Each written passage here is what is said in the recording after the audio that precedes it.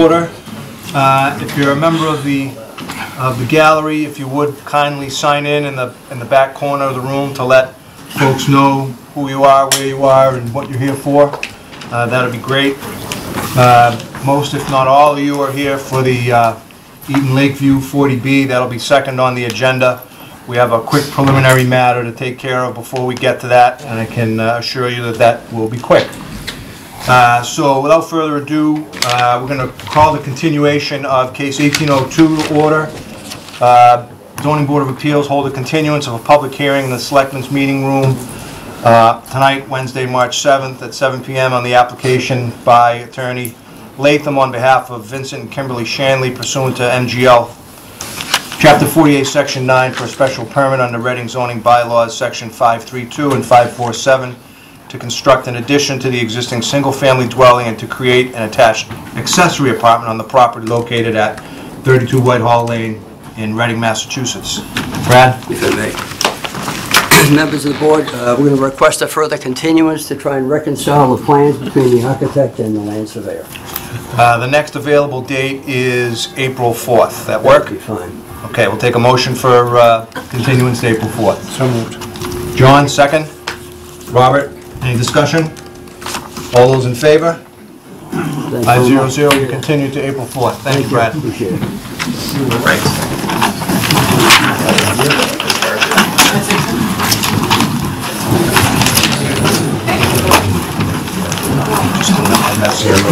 Maybe you want to, I don't know, maybe Chris, you want to say the secret Chris one time? Well, yes, Yeah, we- we're gonna work that out once you guys, Julie's the coordinator of seating this evening. Oh, I like to think I do more than that, all right. Well, Of course you are. Sir? Just that. I will now turn the proceedings over to Acting Chairman, Vice Chair John Jarima for the opening of the next public hearing. Thank you, folks. Thank you.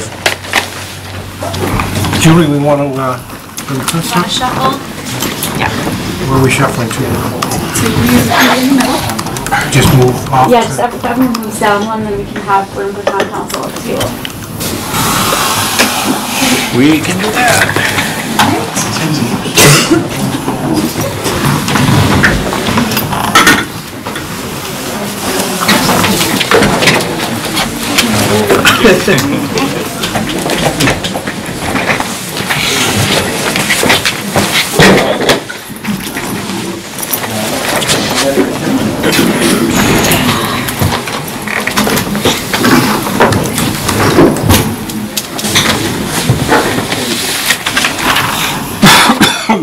To proceed?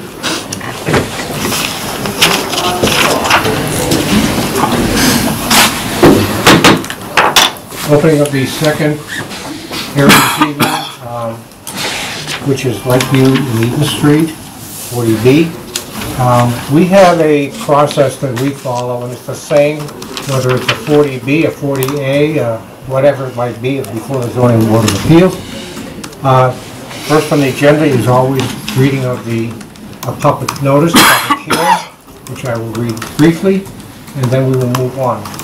So, um, zoning board of appeals will hold a public hearing in the selectmen's meeting room at Town Hall, 16 Lowell Street, in Reading, Mass, on Wednesday, March the 7th, 2018, at 7 p.m. On a petition of Eaton Lakeview Development LLC, who seeks a comprehensive permit to develop 120 units of rental housing on 4.33 acres of land that is partially in a residential zone and partially in an industrial zone under Mass General Laws, Chapter 40B, Section 20 through 23, with waivers from zoning requirements on the property comprising six tax parcels known as Zero, Lakeview Avenue, map 17, lot 131, Zero Lakeview Avenue, map 18, lot 2, 23 through 25 Lakeview Ave, map 18, lot 1, 0 Eat- Eaton Street, map 17, lot 274, 0 Eaton Street, map 17, lot 275, and 128 Eaton Street, map 17, lot 276 in Reading, Massachusetts. The application and associated plans are available to the public in the Public Service Office in the Town Hall, Monday through Thursday, uh, 7:30 a.m. to 5:30 p.m., and Tuesday from 7:30 to 7 p.m. And the zoning board of appeals website, and the long one, so I'm not gonna read it. Um, And what I didn't bring is the, the rest of the, Mr. Chairman, point of order. We've got another 20 people out in the hall who'd like to attend the meeting. um, I, I- we aren't set up for the next room for a TV or anything, so I'm, I don't know what to do. Yeah, Mr. Mr. Chairman, Chairman, can we move this way? If you can, if you can come in and sit, and you want to sit down, Why don't we move this way, I'm, folks, and along the sides and try to bring people into the hall? Yeah. I know we might be behind someone, but it's better than nothing.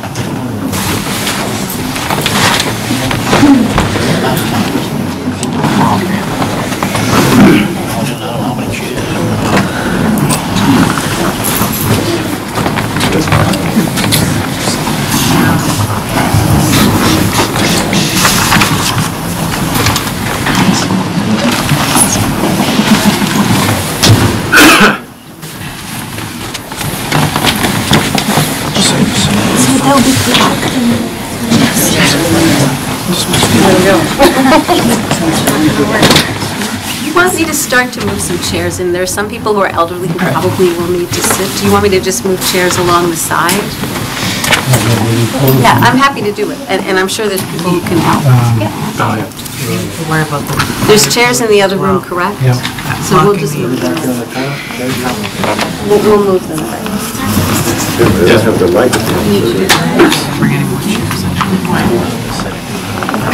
Um, As was, as was just brought up, uh, we have a fire code here in the town, and the fire code uh, only allows for a certain number of chairs within the room of a meeting hall. So we are at the limit right now. Uh, If you want, what you might, might want to do is to open that second doorway and put the chairs on the outside of the room so that you can hear what's going on. So I have a suggestion. If we move to the other room, many of us have cell phones. We can record it if you want. I mean, that's fine too, if that's okay with people who are presenting. Are you okay with that? Um, I, we are being recorded, I mean, if you can pick that up next door, that, that's fine. Oriana, what do you think?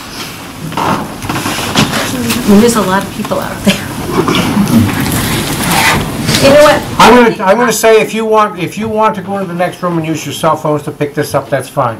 Well, but I Because want we're her not- to be able to do a presentation. You have a, you know what, we'll, for anybody who can give up their seat, for people who are older. You can't bring anyone. There's chairs available for the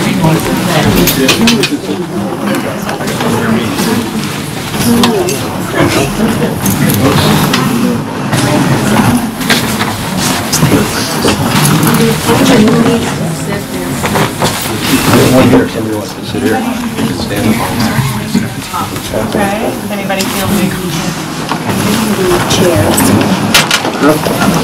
Okay, we'll go on with the meeting then, and we'll do the best we can with what we have to work with.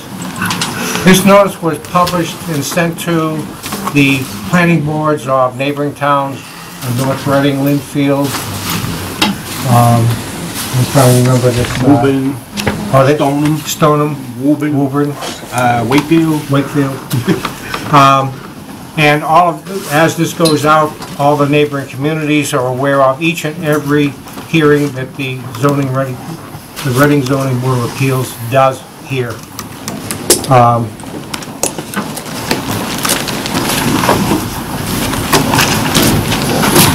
This is a 40B, um, and part of the process is that uh, we normally turn it over to the applicant at this particular point, but we have a little bit of house uh, rules and regulations to go through too for this particular meeting, so um, what we expect during the regular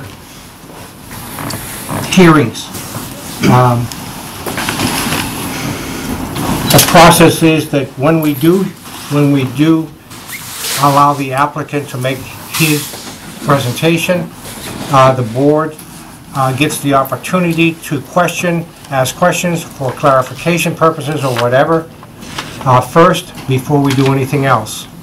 Uh, and Since there's a large uh, public involvement on this particular 40B, um, as there usually is, uh, I'm just going to say that I'm going to give you a couple of rules that we need to abide by. One is that this is uh, an orderly uh, meeting. We all will get to speak. Um, Please wait on, when you raise your hand, please wait until you're recognized by the chair. When you stand up, please give your name and your address. Uh, The questions, uh, if it's going to a specific person or a team member, please go to the chair for that. And the last is to keep your comments relevant, minimize the redundancy, and please be clear and succinct. I know there's a lot of people who want to give input. This meeting is not going to be a one, one-on-one, uh, a onesie. Um, It's not going to be done in two meetings, it's not going to be done in three or four meetings. So everybody's going to get their opportunity, and the intention is on all 40Bs is to provide the best possible project for the town of Reading, because we all live here. So the first thing I'm going to do is introduce members of the board and the people sitting at the table. Um, I'll start over here. Julie Mercier, Community Development Director. Uh, Chris Chris Heath, Heap, Town Counsel. Town Counsel, specializing in 40Bs. Robert Rayburn, member of the zoning board of appeals. Nick Pernice, also a member of the zoning board of appeals. Cy Cowett, member of the zoning board. Andrew McNichol, Planning Assistant. Jean Delios, Assistant Town Manager. Kristen Grover, Assistant um, Administrative Specialist.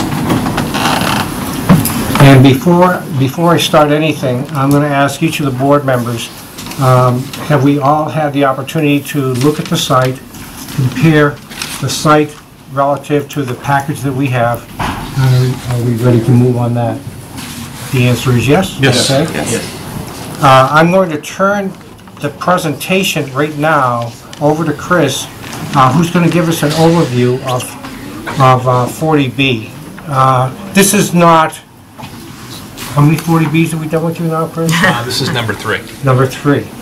So we go through this process all the time because not all, all people are understanding of what a 40B is. So Chris, go ahead. Sure. Uh, Thank you, Mr. Chairman. Uh, Again, Chris Heap from Town Counsel's office. Just wanted to spend probably about 10, 15 minutes uh, just doing a very quick overview of um, 40B, what it is, um, and what the public hearing typically looks like, and the timetable for uh, working through it. Um, What is Chapter 40B? Uh, Chapter 40B, at its most general, uh, is a uh, state law that um, governs uh, certain types of development. Specifically, if an applicant sets aside uh, usually 25% of the number of dwelling units in a housing project as uh, deed restricted uh, to be affordable in perpetuity, then they get to apply for a comprehensive permit. Um, A comprehensive permit is one, uh, is a kind of application in which the zoning board of appeals, this board up here, uh, stands in the shoes of every other local board uh, and land use official in town uh, and gets to issue a one permit that covers all of the uh, local rules, regulations, and bylaws that are typically applied by everyone else in town. Um, The term of art uh, that is applied to the ZBA here is that the ZBA gets to stand in the shoes of all local boards. That term is defined as any local board or official, including but not limited to any Board of Survey, Board of Health, Planning Board, Conservation Commission, Historical Commission, Water, Sewer, or other commission, Fire, Police, Traffic, or other department, Building Inspector, or similar official. Um, And then it goes on to say that any other board, regardless of geographical jurisdiction or the source of their authority, uh, shall be deemed local boards if they perform functions usually performed by locally created boards. Um, So that is an incredibly broad uh, term uh, defining what it is that the ZBA gets to do uh, with respect to this application. There are only a few exceptions to that general rule that I just cited. Um, There are, uh, if a local official is applying a state program, not a local program, then the board does not uh, step in to do that. The classic examples of what the ZBA doesn't do is uh, stand in the shoes of a local Board of Health applying Title V, which is not, gonna- I don't think going to be relevant here, uh, and the building commissioner applying the state building code. Uh, Those uh, remain effective, and those get applied by um, the other boards. Other example, Conservation Commission applying the State Wetlands Protection Act. Uh, The Conservation Commission gets to do, um, continue to apply the state, state act. Um, So that's the first major component of 40B, is what the ZBA gets to, um, gets to assume the authority of everyone else in town. The second major aspect is that the ZBA uh, is empowered to, uh, sometimes required to, grant waivers from local rules and regulations uh, that would normally apply to a project. So regulations pertaining to uh, density, normal density, height, setback, um, all of those kinds of things can be waived by the zoning board of appeals on the request of the applicant. Um, It does not always need to grant all waivers that have been requested, but that is uh, just one of the main things that it will do uh, typically in a 40B hearing. Um, So that's the general overview. In terms of process, how uh, this, this um, process normally works. The ZBA is just beginning its part of this process tonight, but it's actually not the first step for the applicant. Um, In order to apply to the zoning board of appeals, the applicant must first uh, get what is called a project eligibility letter from a state subsidizing agency. Um, in this case, the applicant has already uh, done that part of it. Um, This applicant obtained a project eligibility letter from Mass Housing dated October 24th, 2017. So with that letter issued from Mass Housing, uh, that letter is what clears the way for the applicant to file this application that's now in front of uh, this board. Once uh, the comprehensive permit application is filed with the zoning board of appeals, a couple of very important timelines immediately get triggered. Uh, Once the application is filed, the ZBA normally has 30 days to open its public hearing. Uh, Once the ZBA opens the hearing, which is tonight, it would then typically have 180 days to close the pub, to conduct and then close the public hearing. Um, That 180 days can be extended by agreement between the board and the applicant. Uh, Once the hearing is, public hearing is closed, the ZBA then typically has another 40 days to vote a decision, and once the ZBA votes a decision, it then typically has 14 days to file uh, a written decision with the town clerk. Now, all of those normal, normally applicable um, deadlines that I just mentioned have actually been adjusted for purposes of this hearing uh, on this application. Uh, The applicant has uh, agreed in writing uh, with the ZBA to extend the time for the ZBA to conduct the public hearing, vote, and render a decision, and file that decision with the town clerk until February 22nd of 2019. Um, So that, uh, that agreement has already been uh, uh, presented by the applicant, Um, and so I think the important point there is, as we're, uh, as we sit here tonight, the ZBA is at the very beginning of a very long um, hearing process, and as we sit here tonight, ZBA is beginning this process with more time um, than a zoning board of appeals typically starts the process with. Um, Normally, you start with 180 days as the deadline in mind. Uh, Here, we have more than that uh, already effectively in place. Um, In addition to those timelines that I just mentioned, there are a couple additional uh, deadlines that um, uh, Bear mentioned. And that is that there are certain safe harbors uh, that uh, can exist in towns um, that can serve to uh, uh, either permanently or temporarily insulate the town from comprehensive permit applications. Those are, uh, the- if the town reaches its 10% of affordable housing, of it, if the town hits 10% of its housing stock as affordable, um, it uh, is then capable of denying comprehensive permit applications as long as that remains true. Um, And there are a couple other that provide um, temporary insulation from- from comprehensive permit applications. If the board, the zoning board of appeals, when an application is filed, believes that um, it has the right to invoke one of those uh, safe harbor provi- provisions, then it needs to notify the applicant that it's doing that within the first 50, within 15 days after opening its public hearing. Um, So that, it's, it's sort of somewhat unusual for a ZBA to be able to invoke that right, Um, But uh, the town, that that that is the position that the board finds itself in tonight. Uh, The town is currently benefited by a safe harbor uh, on the basis that it has been certified to be in compliance with the housing production plan. Um, And so if the board wants to uh, flag that as a, uh, as something that it can invoke with respect to this application, it needs to uh, do that within 15 days from right now. Uh, And I would add that the board does not need to actually deny the application, but it needs to instead just notify the applicant that it has, it believes it has the right to apply the safe harbor, um, and notify the applicant and DHCD in writing of that within the next 15 days. So that's, I just want to flag that in this sort of overview, but that is something uh, that the board uh, should consider uh, and talk about further uh, later, perhaps later on in the evening. Um, Okay, uh, that's the sort of hearing timelines. Um, What is it that the board is doing in a hearing, and how does 40B uh, govern your review of these kinds of applications? Um, The main uh, legal question that that will come into play with with most of what the board does on this and other 40B applications is, uh, uh, under the regulations, the legal standard is whether you, what your, act- whether your actions are consistent with local needs. Uh, That's a term of art in DHCD's regulations. Um, And the board can, applying that legal standard, can ordinarily only deny a comprehensive permit application if the denial would be consistent with local needs. What that means under the regulations is um, that your decision is reasonable in light of, on the one hand, the regional need for lower moderate income housing in town, and two, local concerns. Um, Local concerns are defined as the need to protect the health and safety of the occupants of the proposed project or of the residents of the municipality, to protect the natural environment, to promote better site and building design in relation to the surroundings and municipal and regional planning, or to preserve open spaces.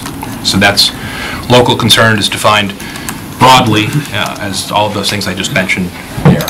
Um, The, the, so, and what I just described in terms of whether something is consistent with local needs um, is a balancing test between the need for affordable housing and local concerns on the other. So you're always balancing the need for affordable housing with the local concerns. The caveat to that is that when you're applying that balancing test, uh, the board typically has to keep in mind that in the event of a denial or a conditional approval, the applicant always has the right to appeal the board's decision to the Housing Appeals Committee. Uh, And if any decision on a comprehensive permit goes to the Housing Appeals Committee, the standard of review applied there is weighted very heavily in favor of the need for local uh, affordable housing in town. Uh, As long as the town is under the 10% or is not benefited by one of the safe harbors, uh, there is a absolute presumption that the need for affordable housing outweighs the local concern that you're citing. So uh, it- that's not impossible to overcome, but just in terms of the general framework of 40B, the balancing test versus of affordable housing versus local concerns is tilted in favor of the need for affordable housing. Um, So that's uh, one thing there. The next question, um, much of what the board is going to be asked to do in this hearing, uh, and when it renders the decision, is to rule on all of the waivers that the applicant needs from local rules and regulations. Maximum building height, maximum number of units per lot, all of those kinds of things are waivers that the board is going to have to- to to rule on one by one. Um, The standard, of- uh, and so, the standard of review, when the board is considering whether to grant a waiver or not, is, uh, in the first instance, whether denying the waiver is going to render the project uneconomic for the to pursue. Um, And if the answer to that question is yes, then you fall back to the, the legal standard I just mentioned, which is balancing the need for affordable housing versus um, uh, the local concern that the board is worried about. Um, So when granting a waiver, again, the standard is first, whether it would render the project uneconomic, two, uh, the balancing of the need for affordable housing and uh, the local concern. Um, So that's uh, granting of the waivers. A couple other, uh, falling back to the question of how the hearing is going to normally work on a comprehensive permit application, um, in terms of the conduct of the hearing, once the hearing opens, uh, given the, the hundred, the 180-day timeline, which is the normal one that we have uh, extended already here, is, can can be quite tight. Here, we have the luxury of some additional measure of time. But in any 40B hearing, in the early stages, the board is going to want to think about hiring uh, expert peer reviewers, um, which it can do at the applicant's expense, um, and get those peer reviewers up and running to review what the applicant is presenting to you and offer comment. Um, those peer reviewers will typically include civil engineer, um, transportation engineer, and uh, I believe the last couple we did here also included an architectural peer reviewer, which I think uh, was was quite useful. Um, So, just in terms of the items to to think about uh, over the next um, early stage of the hearing, um, one, that's get peer reviewers lined up and ready to go. Uh, Two, another important part that the board uh, should include, should build into the early, early part of the hearing, is to solicit comments from all of the other boards, commissions, and land use officials in town, public safety officials in town, who might ordinarily have been issuing these kinds of permits, uh, but aren't going to do that because it's all up to you here. Um, I'm thinking of the CPDC, uh, you know, building commissioner, fire department, police department. Uh, The board wants to reach out and solicit comments um, eh, from all of those and get those into the record so that the board can apply uh, the, you know, comments and concerns of all of those other land use uh, people in town. Um, And the third point about the conduct of the hearing is that we have approximately a year before the board's going to need to file a decision with the town clerk, but the board always needs to build in enough time toward the end of its public hearing so that it can produce a reasonably complete decision, written decision, and circulate it to the public and to the applicant with a good measure of time left in the hearing window. Um, I would say, you know, 30 days to 45 days at least, um, to produce a written decision, including the conditions that the board intends to impose on the project, so that it can share it with the applicant. The reason for that is that um, if the board, if the, that, sharing the decision, including all of the conditions that the board wants to impose, gives the applicant an opportunity to object to some of those conditions on the grounds that they will render the project uneconomic, either one condition by itself or all of the conditions in total. If the applicant objects to some of the conditions as rendering the project uneconomic, then the board can demand to see from the applicant a pro forma outlining all of the finances of the, of the, of the project, so the applicant is essentially put to the task of proving that what you want to do will render the project uneconomic.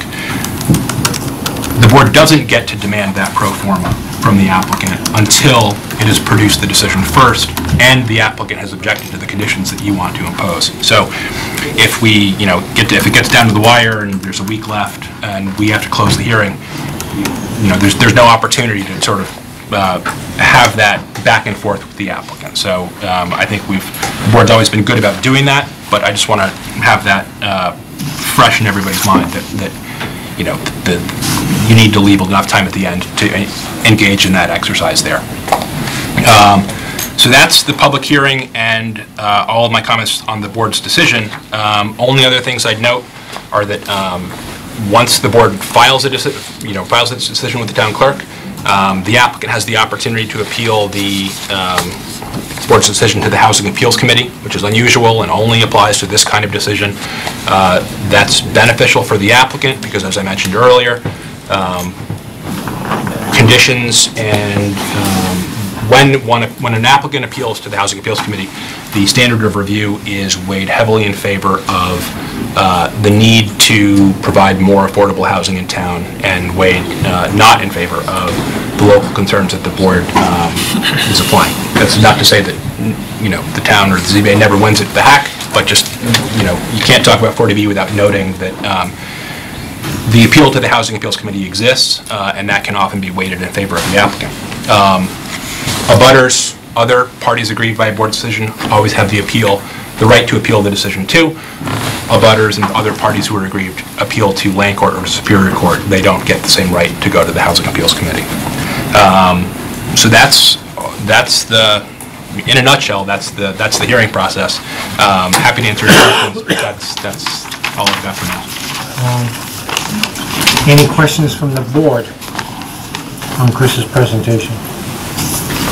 Um, I'm just gonna ask, um, was there anybody in the room, in the room who may not have understood everything that Chris said? Oh, everybody understood, good, we can move right on then. I'm gonna, what I'm going to do is, um, I'm gonna ask uh, just a couple of questions, and I'm gonna ask the board if they have any questions also. Uh, And then we're gonna move right into the uh, presentation by the applicants. I don't know what the weather is forecasting outside, but we wanna make sure we get everybody here home safely too. So, first question I have is either for Julie or for Jean. Um, Where do we stand right now in terms of um, affordable units in the town, and the percentage, if you can recall? We're at nine point three five percent. And that's with uh, the safe harbor? Yes. Okay. Um, And as I, as I looked at this thing from uh, Mass Housing, it looks like we're 117 units short of the 10%, but that's not going to be effective until February of um, 2019. So by getting out in front of this now, we have time to project that forward. Um, And if the board comes up with a, uh, with an acceptance that's modified, if it's going to be modified from the applicant, that still gives us time uh, to do something about this. So we're, we're we're trying to be proactive and ahead of the game. Is that, is that correct? Okay. I'm trying not to go into this because I, okay. So the first thing that I would like to do at the present time is, um, as we go through this, and I'm going to ask Chris to come back because we have another uh, piece of uh, information to read into the public hearing, which I'm going to hold on to until we have the presentation from the applicant, which I'm trying to limit to somewhere between 30 and 45 minutes. I'm going to try to do the same thing with uh, the um, abutters who have a presentation this evening, and then we'll see where we are in time. But uh, remember that after, after the presentation is made, the first people who have access to the presentation is the board members. They have to get it clear in their mind. They can either ask a series of questions, or they can pass and hold their comments until later. But that's what we'll do. So I'm just going to, at this point, turn it over to the, uh, turn it over to uh, Theodore uh, Rodante Regnante? Correct. um, to make the presentation for us, so that, uh, so, well, I- do we need that space over there? Uh, We'd like to put some things up on the board, if, uh, with the board's permission. Make it, uh, I believe, easier. Go ahead. People can come in now because they're not standing up. Uh, There are some chairs in here, if some of the people on the outside want to come in. Just tell me which ones to open. Sorry. Someone's sitting here. Plus it's cool out here too.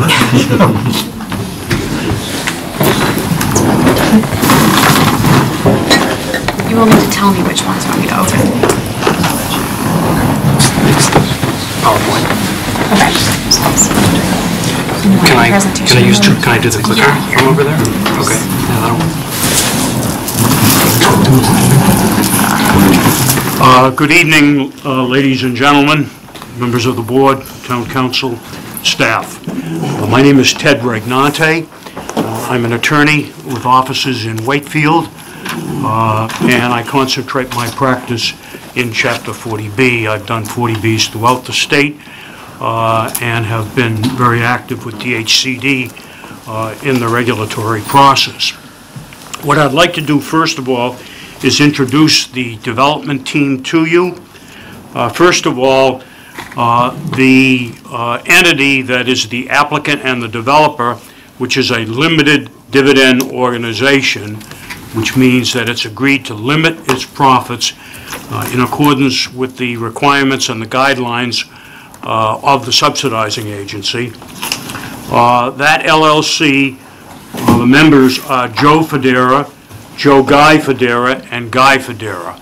Uh, And they are local developers uh, uh, in in the town, have done other projects in the town.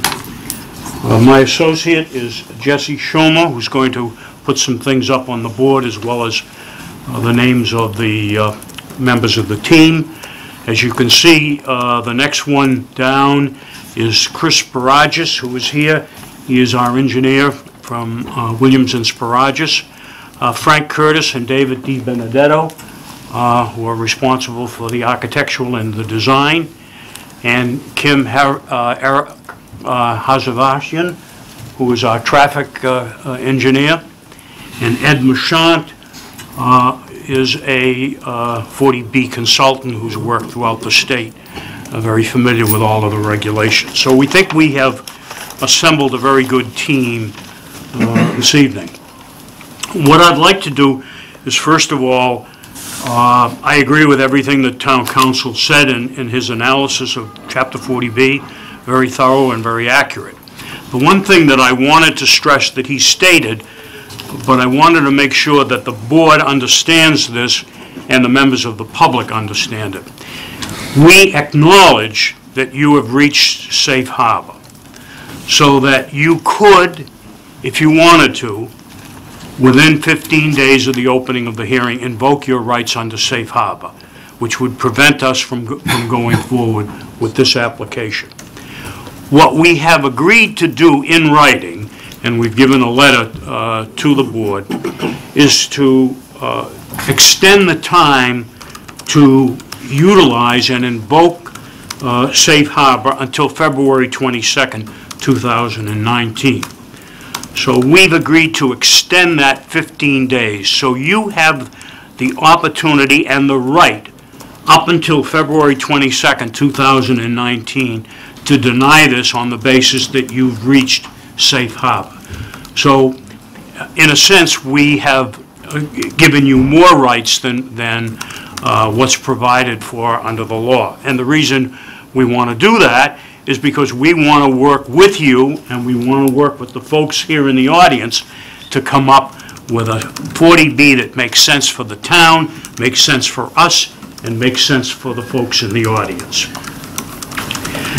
Um, We've agreed to extend the time for review by the ZBA and action until February 23rd, 2019. So, as Chris indicated, you'll have much more than the 180 days. And we think that process uh, will will help and, and help us to address and work with the board and with the neighbors to come up with a project that hopefully makes sense for everybody. So all of the town's rights to invoke safe harbor and deny the application have been retained by the town. So you're giving nothing up, you're having more rights than you would have under the regulations. So we want to start this hearing process by showing that we're cooperative, that we want to work with you. That's the reputation that I have and the members of my team, uh, to, to not make this an adversary uh, proceeding, but to make it a cooperative uh, proceeding. With that having been said, let me go through a few things uh, on the application, and then I'm going to turn it over to the engineer who'll go into detail. So these are up on the board, and, and people can see them, but let me kind of uh, give an overview.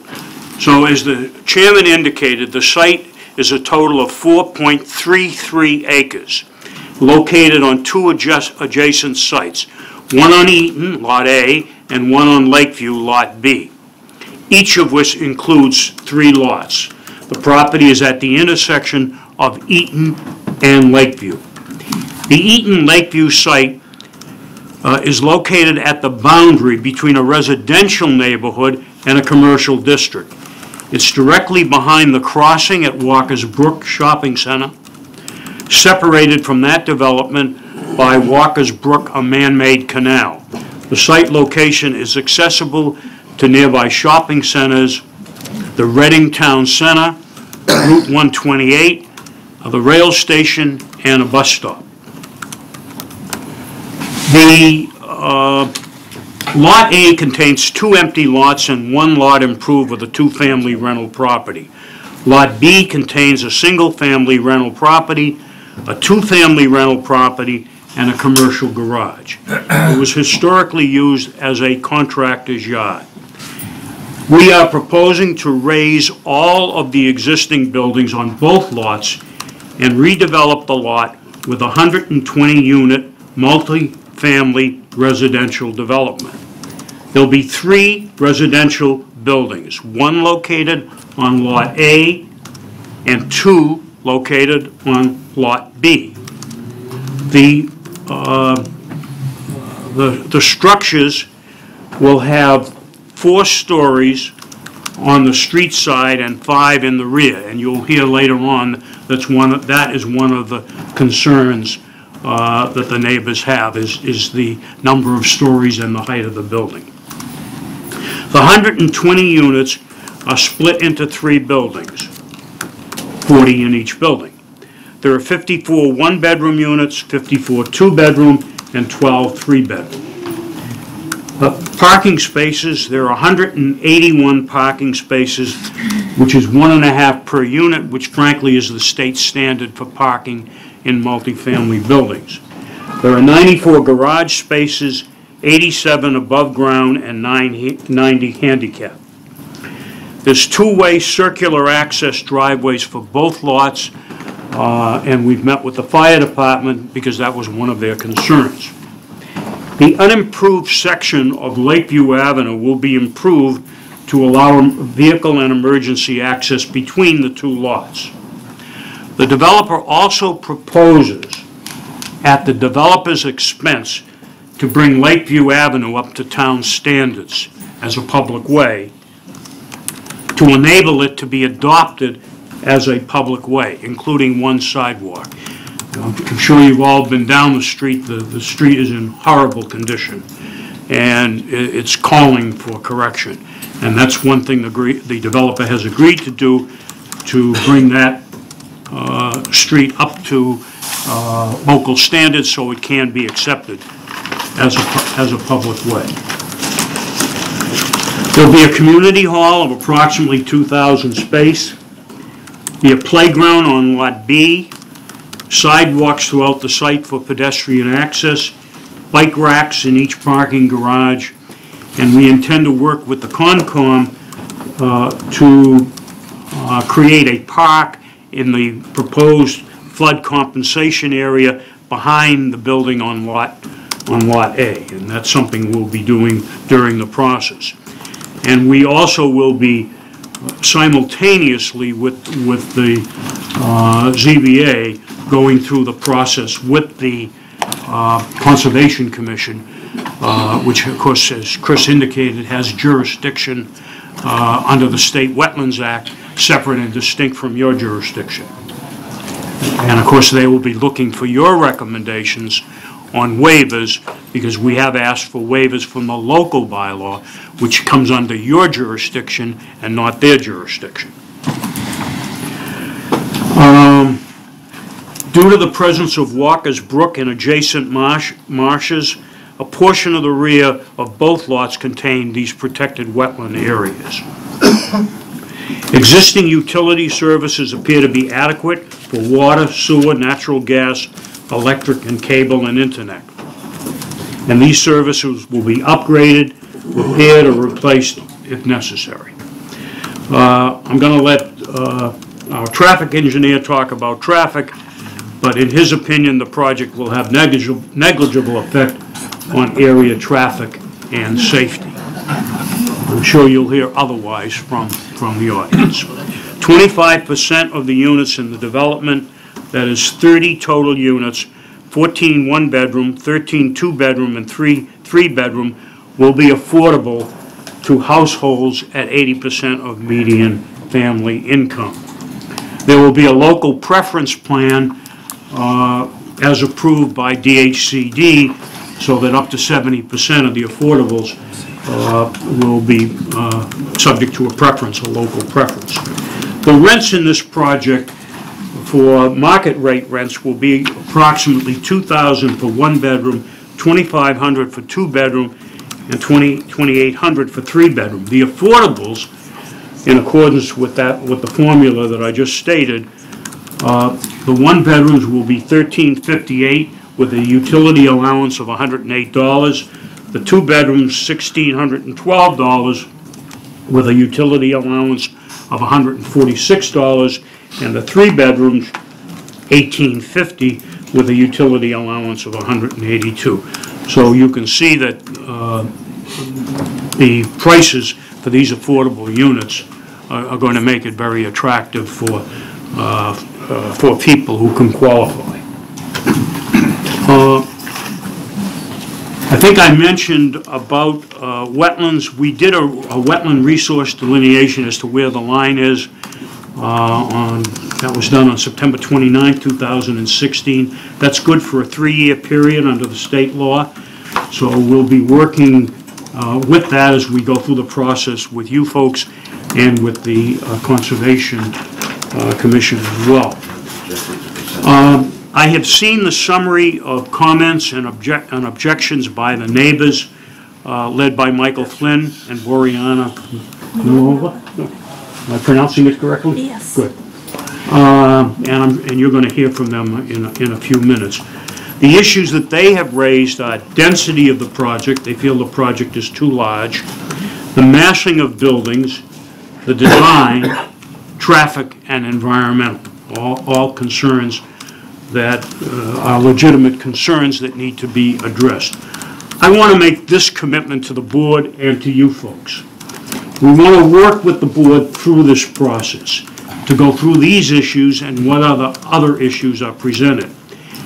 And we want to work and get comments, and uh, if we need to make adjustments, we're willing to do that as long as it keeps the project economic, which is, of course, the state standard. So I want to make that commitment.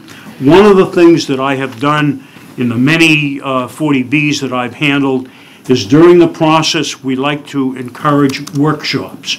So a workshop would consist of members of staff, uh, different people in the town departments, uh, usually one member of, of the zoning board of appeals, town counsel, and we would invite representative or representatives of the neighbors to try to sit down, cross a table, and, and, and work through some of these issues. So we, we want to make that commitment to do that uh, during the process.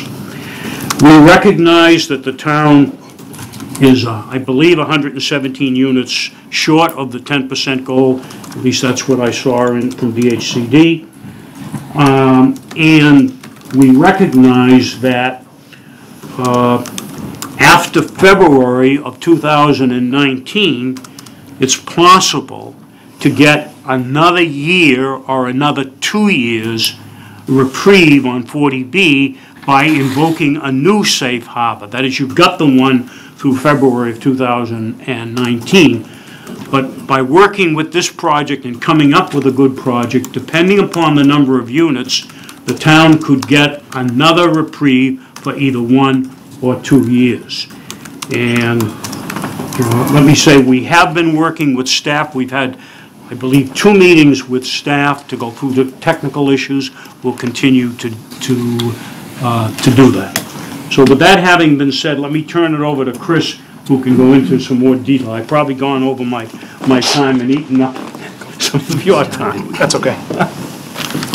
Uh, Thank you, members of the board. Uh, For the record, my name is Chris Sparages. I'm a registered professional engineer uh, here in Massachusetts uh, with offices in Middleton, Massachusetts. We're a firm of about 20 uh, professionals, professional land surveyors, wetland scientists, uh, land surveyors, and um, and the like. And we were hired by the Federa family to work with Ted and the rest of the team to come up with a site plan that uh, that we believe uh, uh, fits the site.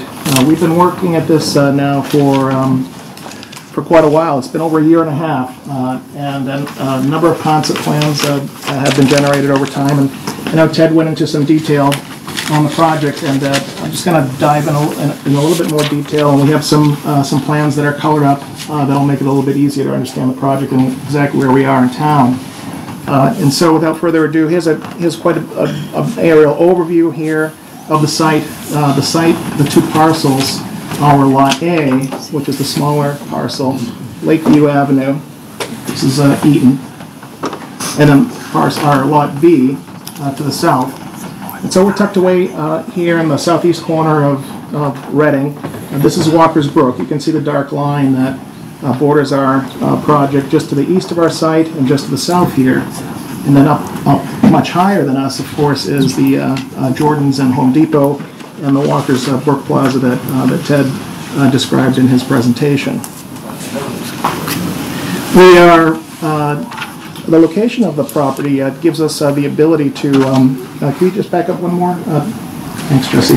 Um, We're walking distance um, along Lakeview Avenue uh, over to the Market Basket Plaza. It's a, it's a pretty good clip, it's about a third of a mile walk. Uh, By car, we're about half a mile down to the exit at 128. Uh, And Salem 5 Bank um, is, is right up here, which is right at the end of uh, Lakeview Avenue. So we're going to zoom in now and just take a closer look at the site. So we've zoomed in, uh, here's our Lot A and our Lot B. And over to the right here uh, is a couple of aerial shots of the existing uh, conditions. And they're taken at a couple of different views, and I'll, I'll explain uh, how we're looking at this site. So if you travel, if you start over at Walker's Brook and you come down Lakeview Avenue, down to the end of the site, uh, at the very end of Lakeview, uh, the first aerial view up here is a, uh, is a shot, an aerial shot um, up in the sky here, looking back, if you will, up Lakeview Avenue. So if you come up here, uh, this is the end of Lakeview Avenue, and we're looking back, you can see where Eaton, Eaton Ave takes a turn to the north. Uh, And I just wanted to describe to you uh, a little bit about the existing conditions. This is the Lakeview Avenue parcel uh, that we identify as 23-25 Lakeview Avenue. Uh, This is uh, a big commercial garage that's in the middle of the property. There's also a single-family home and a two-family home. And the rest of the property, uh, much of the rest of the property is, uh, is, is bare and open uh, and has been used as a contractor's yard uh, for a number of years. Uh, Most recently by the, um, uh, prior to the Federa family, the, the Zani family operated their site work construction company and used this as a, as a contractor's yard for years. And then now the Federa family keeps their heavy equipment on site uh, and maintains and operates the garage and and has these two rental properties on the Lakeview Ave. I'll describe uh, the zoning uh, on the next slide in just a minute, Uh, but on the Eaton Ave, on the Eaton Street side, uh, you can see the existing uh, two-family home here, and the rest of the property, rest of the property is vacant. The aerial view down below is, is taken from a different perspective. We've traveled up Eaton Street a little bit here, and uh, we're up in the sky again about here, but now looking back uh, towards the intersection of Lakeview. Uh, So a little bit down the road here, looking back at the intersection of Lakeview and Eaton, and it's a little bit of a different perspective. You can get a better look at uh, the Eaton Street parcel and the uh, two-family home here, uh, and uh, just a different look at the, uh, the two residential structures in the front of the Lakeview Avenue piece and the commercial garage. This also gives you, both of these views also give you an idea of um, uh, the proximity of the Lakeview Avenue apartment uh, complex, which is a 96-unit apartment complex right next door to us, um, uh, just to the west. Uh, Next slide, please. Okay, so this is our index plan, which is the first sheet in our site plan set, and we superimposed um, an aerial, uh, an aerial over the, uh, the assessor's information, and we've also superimposed uh, zoning information. And I re- remember that Attorney Regnante mentioned that um, one of the parcels on the Lake- the Lakeview side is zoned partially industrial and partially residential. And so uh, here's the zone line between industrial and S15. S15 is the single-family, uh, uh, 15,000 square foot zone. So about 40% of the parcel, excuse me, about 60% of the parcel is zoned residential, and 40 is uh, is zoned industrial. And all of Lot A is zoned S15 uh, residential. Uh, Let's go to the next slide. Uh, This is our existing conditions plan. Uh, We have some, uh, some better color plans that, that um, that will come a little bit later, but we've blown up the site a little bit more. What we're looking at here is Lot A. which is the lot on Eaton Street. And uh, the purpose of this plan, it'll show up a little bit better on the, the color version of the proposed conditions plan. We have the existing two-family home, and as Attorney Regnante mentioned, and you- as you saw in the aerial, we're bordered on two sides by uh, Walker's Brook, uh, a man-made canal, and along Walker's Brook, uh, there is a a floodplain. Uh, So uh, in that 1% chance storm event, So any, in any given year, there's a 1% chance that we could get a 7-inch rainfall. That's the so-called 100-year uh, storm event. And um, with our topographic survey, we identified uh, where that elevation is uh, that corresponds with uh, FEMA's flood insurance rate maps. Uh, That, uh, that means that our property has the the ability to flood to elevation 84, which is this dark line here, the river, if you will, being, being over here. So over on the Eaton Street side, the floodplain does creep up onto the lot a little bit. In addition, the other wetland resource that borders uh, Walker's Brook is a bordering vegetated wetland uh, that most of us are familiar with. And that, the limit of that wetland is also shown on this plan. It's a little bit lower, a little bit closer to the river, um, uh, to Walker's Brook than the floodplain. So next slide uh, shows the Lot B across the street, uh, this rectangle uh, shape here. And in this case, Walker's Brook to the south and to the east here. Uh, We also have a a floodplain line, which is the dark line here, and a wetland line, uh, but they're just about uh, off of the site. Uh, But because uh, we're working within 100 feet of these wetland resources, it's going to require us to make a filing with the Conservation Commission under the Wetlands Protection Act. Uh, And that filing is, uh, is going to be uh, as a notice of intent. And I'll go into that in a little bit more detail when I talk about stormwater management. The next uh, slide is going to take us down Lakeview Avenue. So our site, our Lot B, is over here. And if we were to take a left out of the site, uh, we would pass, um, uh, that label is, uh, is wrong, that's not Eaton Street, that's Beach Street. Um, so This is uh, Beach Street here as we're coming down uh, and taking the bend uh, down to Walker's Brook Drive here. And this, uh, this slide is important. We've done an extensive topographic survey, as Attorney Regnante uh, mentioned, from our property line, which is about here, uh, down Lakeview Avenue to Walker's Brook, is approximately uh, 790 feet or so. So this is the section of roadway improvement that is away from the frontage of our property that, that the Federa family is proposing as an off-site improvement. And we've been working closely with um, uh, DPW and Ryan Percival at the engineering department about uh, uh, exactly what standard is going to be expected for improving the road. So it's going to be full depth reclamation, so all of the pavement will be ground up, and the road will essentially be rebuilt, uh, along with curbing and a sidewalk along one side of the street. And in return, uh, what the Federa family uh, is, is asking uh, the town of Reading, um, if that, if that road is improved to the, to an acceptable standard, um, that, uh, that the town accept it as a public way. Uh, Next slide, please. Okay, so, um, as we, as I mentioned at the beginning of my presentation, uh, we've been at this uh, for over a year and a half now, and we've gone through a number of uh, different concept plans uh, that eventually arrived at the current one, uh, which is 120 units. You may recall, Attorney Regnante mentioned that we had filed with Mass Housing before we came to you for a project eligibility letter. And at that time, uh, we had uh, submitted a plan that was a little bit, a little bit different than the one that we submitted uh, uh, to the ZBA.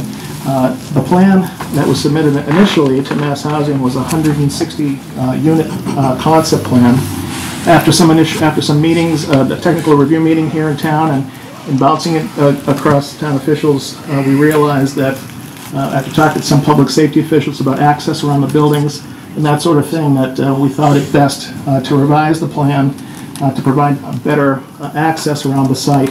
I'll go into some of those details in a minute, Uh, but we've gone through uh, quite a number of different um, concepts. At one time, we had 180 units. We had another concept uh, that was as many as 300 units. Um, But we've been at this, as I said, for a while, and and after, after about a year and a half, um, we believe that, that we've really drilled down uh, to something that works with the existing topography and uh, fits into the, fits into the neighborhood, um, taking, uh, taking everything into context. Um, Next slide, please. So this is a, uh, color rendering uh, that shows the layout of the proposed site. As Attorney Regnante mentioned, we're proposing uh, 120 units in three buildings, and each of the buildings are identical, and they're shown in uh, these brown rectangles. Uh, This is the Eaton Street uh, parcel, and the grays, the gray colors that you see on the plan, we have a couple of different uh, shades. Uh, The darker shade of gray is the existing edge of pavement on Lakeview and Eaton, and this is the proposed roadway improvement um, in Lakeview that'll allow us to connect uh, the two projects together. And then, of course, uh, we're providing for 24-foot wide access driveways around uh, the entire uh, buildings on Lot A, and similarly uh, around the proposed buildings on Lot B. We have, uh, as Attorney Regnante mentioned, a series of uh, surface parking spaces, and uh, the nice thing about the project is, is that we also have um, one story of parking under and on each of the three buildings, which, which allows for covered parking. Um, There is a handicap accessible space underneath each one of the buildings as well. This small block on Lot B is the community building that uh, Attorney Regnante mentioned. Uh, Our architect will go into a little bit of detail on, on how we're proposing to use this space. And some of the other grays that you see um, that show connections on the site are uh, proposed sidewalks. So in front of each one of the properties is a sidewalk along the street. Uh, There are sidewalks in front of the building on uh, Lakeview, uh, and there are also sidewalks along the parking fields on both um, sides of the two buildings on the lot, of the Lot B. And of course, uh, in the, the middle or courtyard area, there are also a series of sidewalks that run uh, uh, two units that are um, on either side uh, of the courtyard. Next slide, please.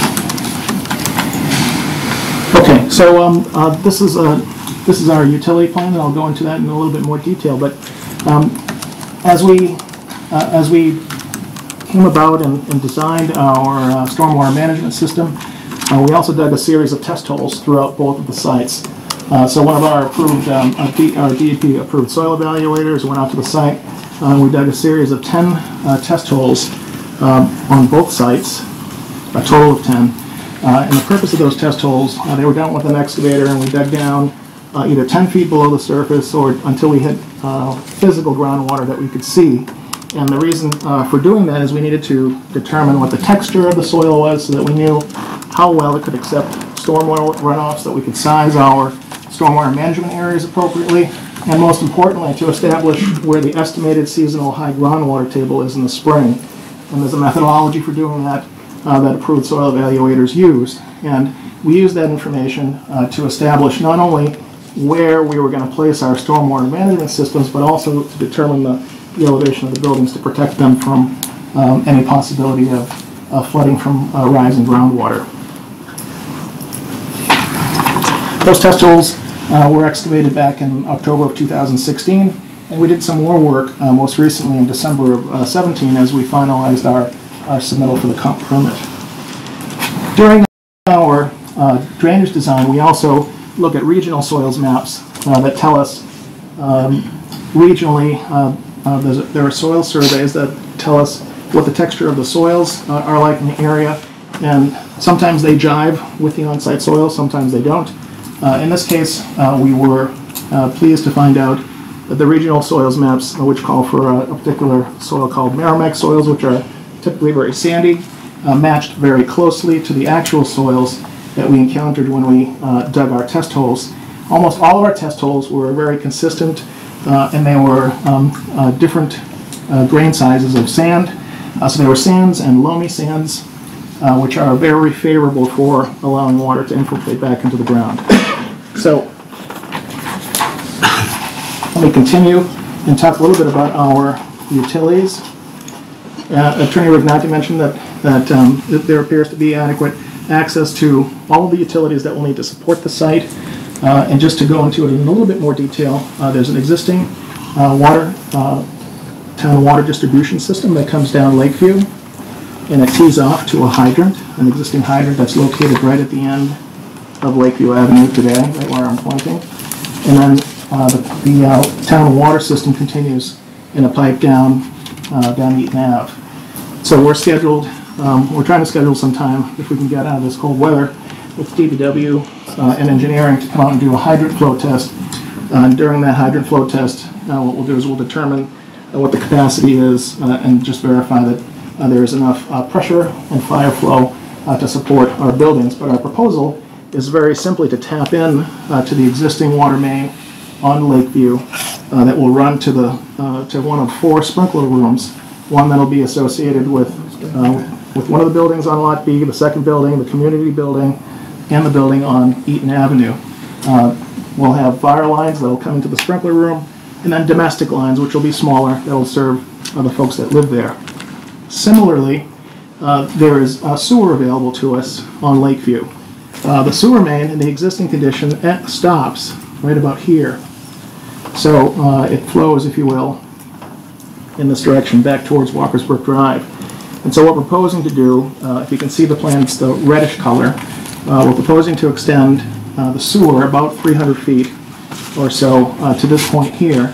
And that'll be a new eight-inch um, PVC sewer main uh, that'll, uh, will stub off with uh, all brand-new services uh, that'll service each of the, each of the buildings. And you can see the, the service, proposed service connections. Uh, Because we have underground parking, uh, the underground parking areas will have to have um, uh, what's referred to as an an MDC gas trap that will uh, also be connected to the, uh, to the town's uh, sewer system. Gas, will, uh, natural gas is available to us. Uh, It's uh, located currently at the intersection of Lakeview and Beach. And so the proposal would be to run uh, natural gas uh, down to the site with the help of the, uh, of the local utility company. We have a series of above-ground utility poles, uh, and there's three-phase power that comes right through, the right down Lakeview Avenue, continues out into the wetland out here. And so we'll be working closely with Reading Municipal Light on finding an appropriate location uh, for transformers that'll serve uh, the three buildings. So the last item, uh, uh, one of the last items I wanted to talk about, which are one of the most important things, is uh, our stormwater management system. And what we've done, and what we do on every project, is we take a look at the existing conditions first. And because we're working within 100 feet of a wetland, we know right away that we're, uh, that we're required to meet DEP stormwater management standards. And there are 10 of them. And those, um, those are outlined in a special form that we submit along with our stormwater report to the Conservation Commission when we file. And the idea is, uh, in the Act and the regulations in the Stormwater Handbook, is that if you meet all the 10 standards that uh, your project, the understanding is that your project is protecting the interests of the Act. And so in those 10 standards, it talks about not creating new uncontrolled discharges, making sure that your peak flow isn't greater, I mean, once you're done with the project, as compared to the peak flow that leaves the site in the existing condition, making sure that we're recharging groundwater back into the ground um, to offset the uh, additional hardscape that we're proposing. Uh, Sometimes we are, uh, we're doing projects in a critical area or a project that um, has a higher pollutant load rate, like a big shopping plaza, for example, um, with a lot of cars. Uh, You have to treat that water that comes off the parking lot to a little bit of a higher standard. That's not us on this project. It's a smaller residential uh, style project. We are not in a critical area, which most oftentimes is associated with a groundwater protection district um, or surface water protection district. We're not in any of those protective zones. And so the, the rules in the handbook are pretty clear, what you have to do to make sure that you're recharging and then treating the water that comes off of the parking lot. And so what we're proposing to do for treatment involves a certain chain of devices. And the ones that we've chosen for this project include uh, deep sump catch basins, which will collect water directly from the parking lot. They'll go to an oil grit separator, which is um, a lot like a septic tank, uh, for those of you who are familiar with septic systems. That'll remove some additional sediment before going on uh, to four subsurface infiltration um, galleries. And so these are chambers, plastic chambers that are going to be placed under the parking lot in a couple of locations. So there's one proposed uh, over in this area here, uh, one that's mirrored on this side, and then similarly, uh, the third one is, uh, is located under the parking field over in this area. So through the use of these underground chambers, we're able to hold the water back and let it out a little bit slowly to match uh, the existing peak flow, and that's how we're able to meet that particular standard. Now, the other thing that um, we were asked to do, and uh, after having met with uh, Ryan uh, Percival after a couple of our DRT meetings, is you may have heard uh, some talk about the Massachusetts small MS4 general permit requirements that are coming out, which are going to require cities and towns to start sampling some of their stormwater management areas and detention basins for phosphorus and some other contaminants of concern.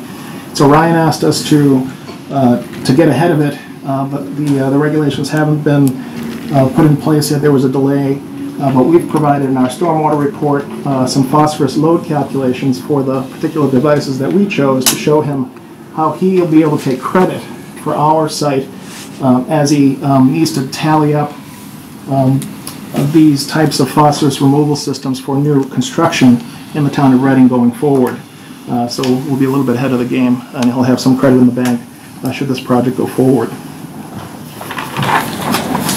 Uh, So next, next slide, we do, uh, and let's go one more. um, And I didn't color up um, the proposed lighting plan or the landscaping plan at this, at at this time, Uh, but this is our, our lighting plan, and our approach to lighting uh, was, uh, is pretty simple. We're using um, an LED, LED type pole-mounted uh, lighting fixtures.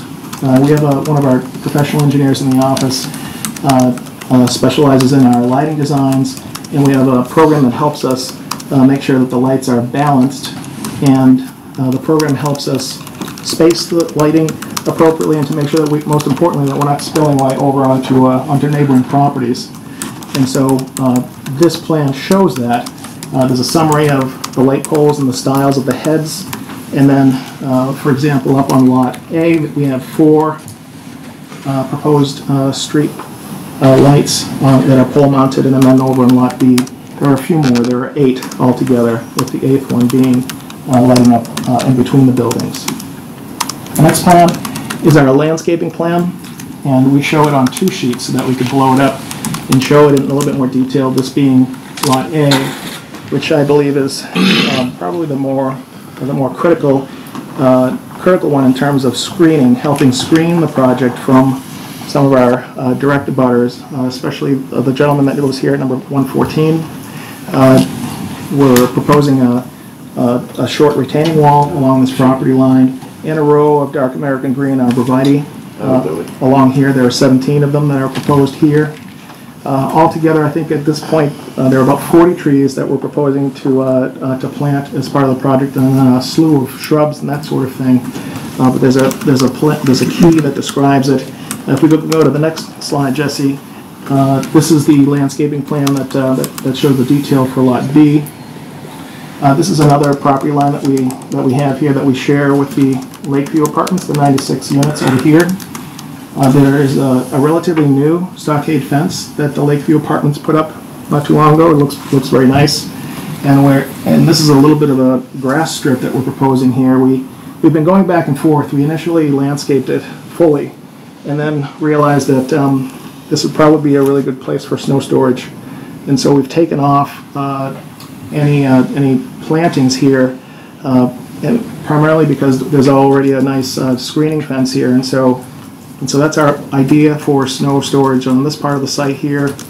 We have a couple of other areas identified, but as you can see, uh, we are uh, constrained because of one of the things that we're trying to do with our limit of work is to honor uh, the Concom's uh, local bylaw requirement of uh, the 25-foot no disturb zone that they have. They have a 25-foot zone of natural vegetation that they want us to try to maintain. It's a local bylaw, something that we could ask a waiver from, uh, but we've tried very hard to, uh, to honor it, and we are honoring it with this plan. Uh, And so, uh, between the location of the wetland resources and uh, trying to meet that setback requirement, we don't have a lot of room on site.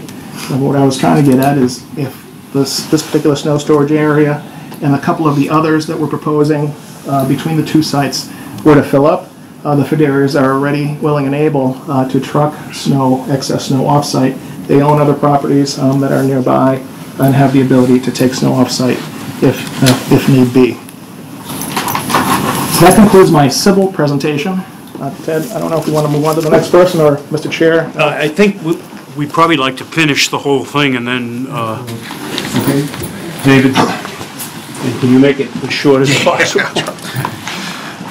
Chairman, board members, thank you for having us. I'm David DiBenedetto, project designer. I'm here with architect Frank Curtis from Curtis DiBenedetto Associates. And, uh. I'll, if we do the site. Um, As it, as it's been mentioned, uh, our site consists of two lots we're calling Lot A and Lot B.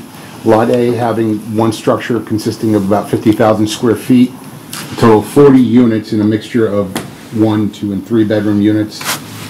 Uh, Some of the, we do have some walkways encouraging use of some of the features on, on the site plan, such as the the proposed park area, uh, as well as the community center, or the community building, which would house a uh, package concierge, uh, uh, facility office, and some recreation room as well, as well as a play area behind it.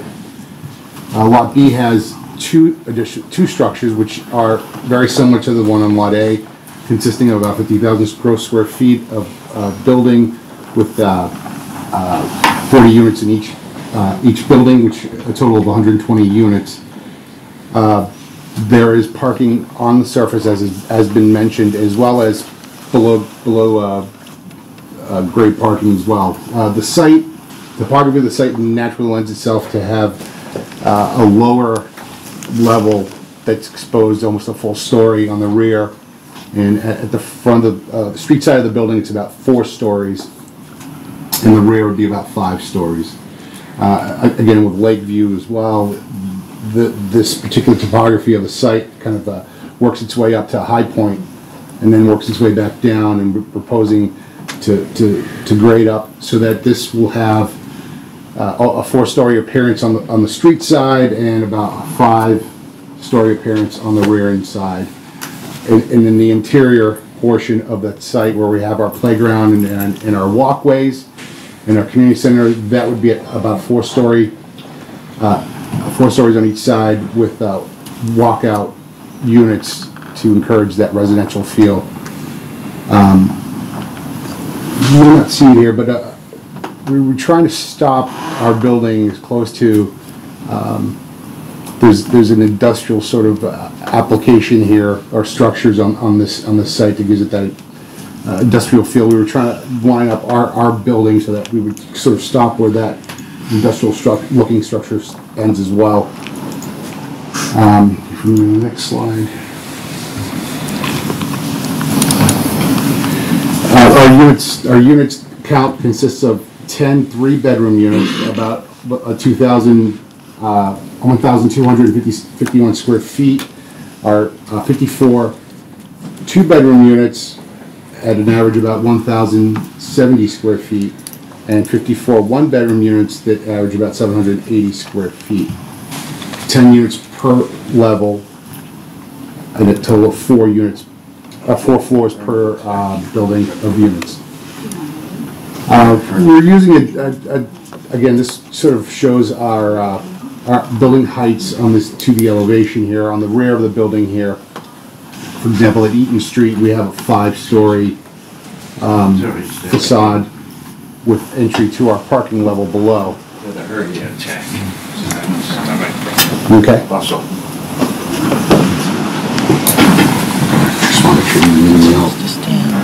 Um, we, we- we are using a different, um, different, uh, materials to, to to promote some depth to the structure, so it's not just a plain facade or a flat plane. Um, we're proposing, uh, and I think we've, we've talked about using a, a Hardie board or a cementitious uh, siding instead of a vinyl siding to promote, you know, sustainability and, uh, as well as composite trim paneling um, and some cedar impressions, as well as uh, a stone veneer on the, on the lower level, just kind of defining the base of the building. Um, Again, you can see here how the topography lends itself to be at roughly four stories on the, on the, for example, on the Eaton Street side here, and five stories on the, on the rear of the- of the project. Um, Some of the colors that we've chosen, uh, we chose a a lighter color to just soften the massing of the structure, as well as, uh, you know, defining that base of the structure with, uh, some stone veneer to, to, to break up the height of that building.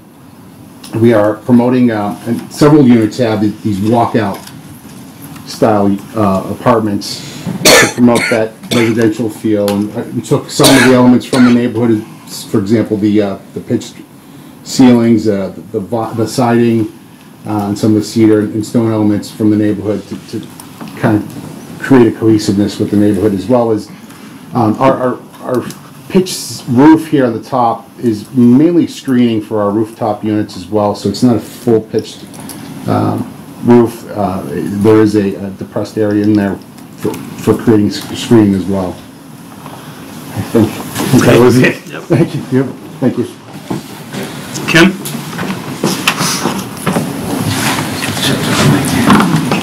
And Again, keep it as short as you I will. can. I'm gonna let you do the slides. Okay. Does anybody have a, uh, Yeah, and my pointer? There you go. Thank you. Uh, Good evening, I'm Kim Hazarvartian, uh, traffic engineer with TEP LLC out of uh, Salem, New Hampshire and North Andover. Uh, Some background on myself, uh, I- I'm coming up on 37 years of doing this. Uh, Hold a bachelor's and master's from the University of Kansas in civil engineering and a PhD in uh, transportation from UMass Amherst. I'm a PE uh, and a certified professional traffic operations engineer. Uh, Next slide, please. Uh, I put together the traffic impact and access study, and it's a, standard Massachusetts type uh, study. Uh, It's been uh, reviewed by the neighbors already, we've gotten comments, and I'm presuming it's going to also be going to a peer review consultant, we'll get comments from them as well. Uh, We worked out the scope for the traffic impact study uh, in consultation with uh, the police department and the town engineer. Uh, And uh, let me just show you what we studied. Uh, We analyzed the Eaton Street, Pleasant Street four-way stop intersection. We analyzed the site driveways.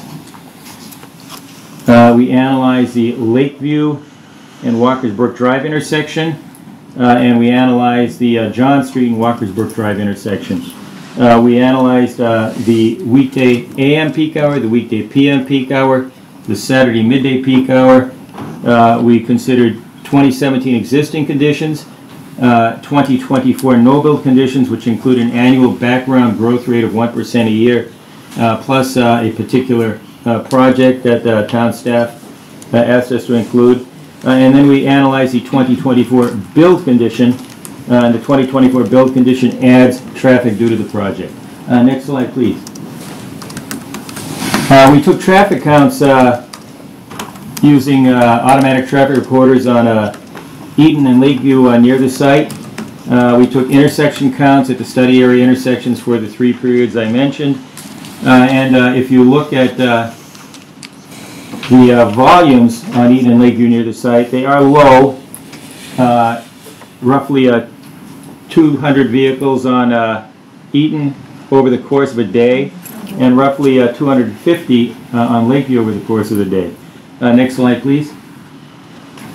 Uh, We had a speed study on Eaton and Lakeview, and the unposted speed limit is uh, 30 miles an hour, and we got speeds in the range of 20 miles an hour for an average speed, and uh, 85th percentile speed, so the speeds exceeded by 15% of the uh, observed vehicles uh, in the 20s.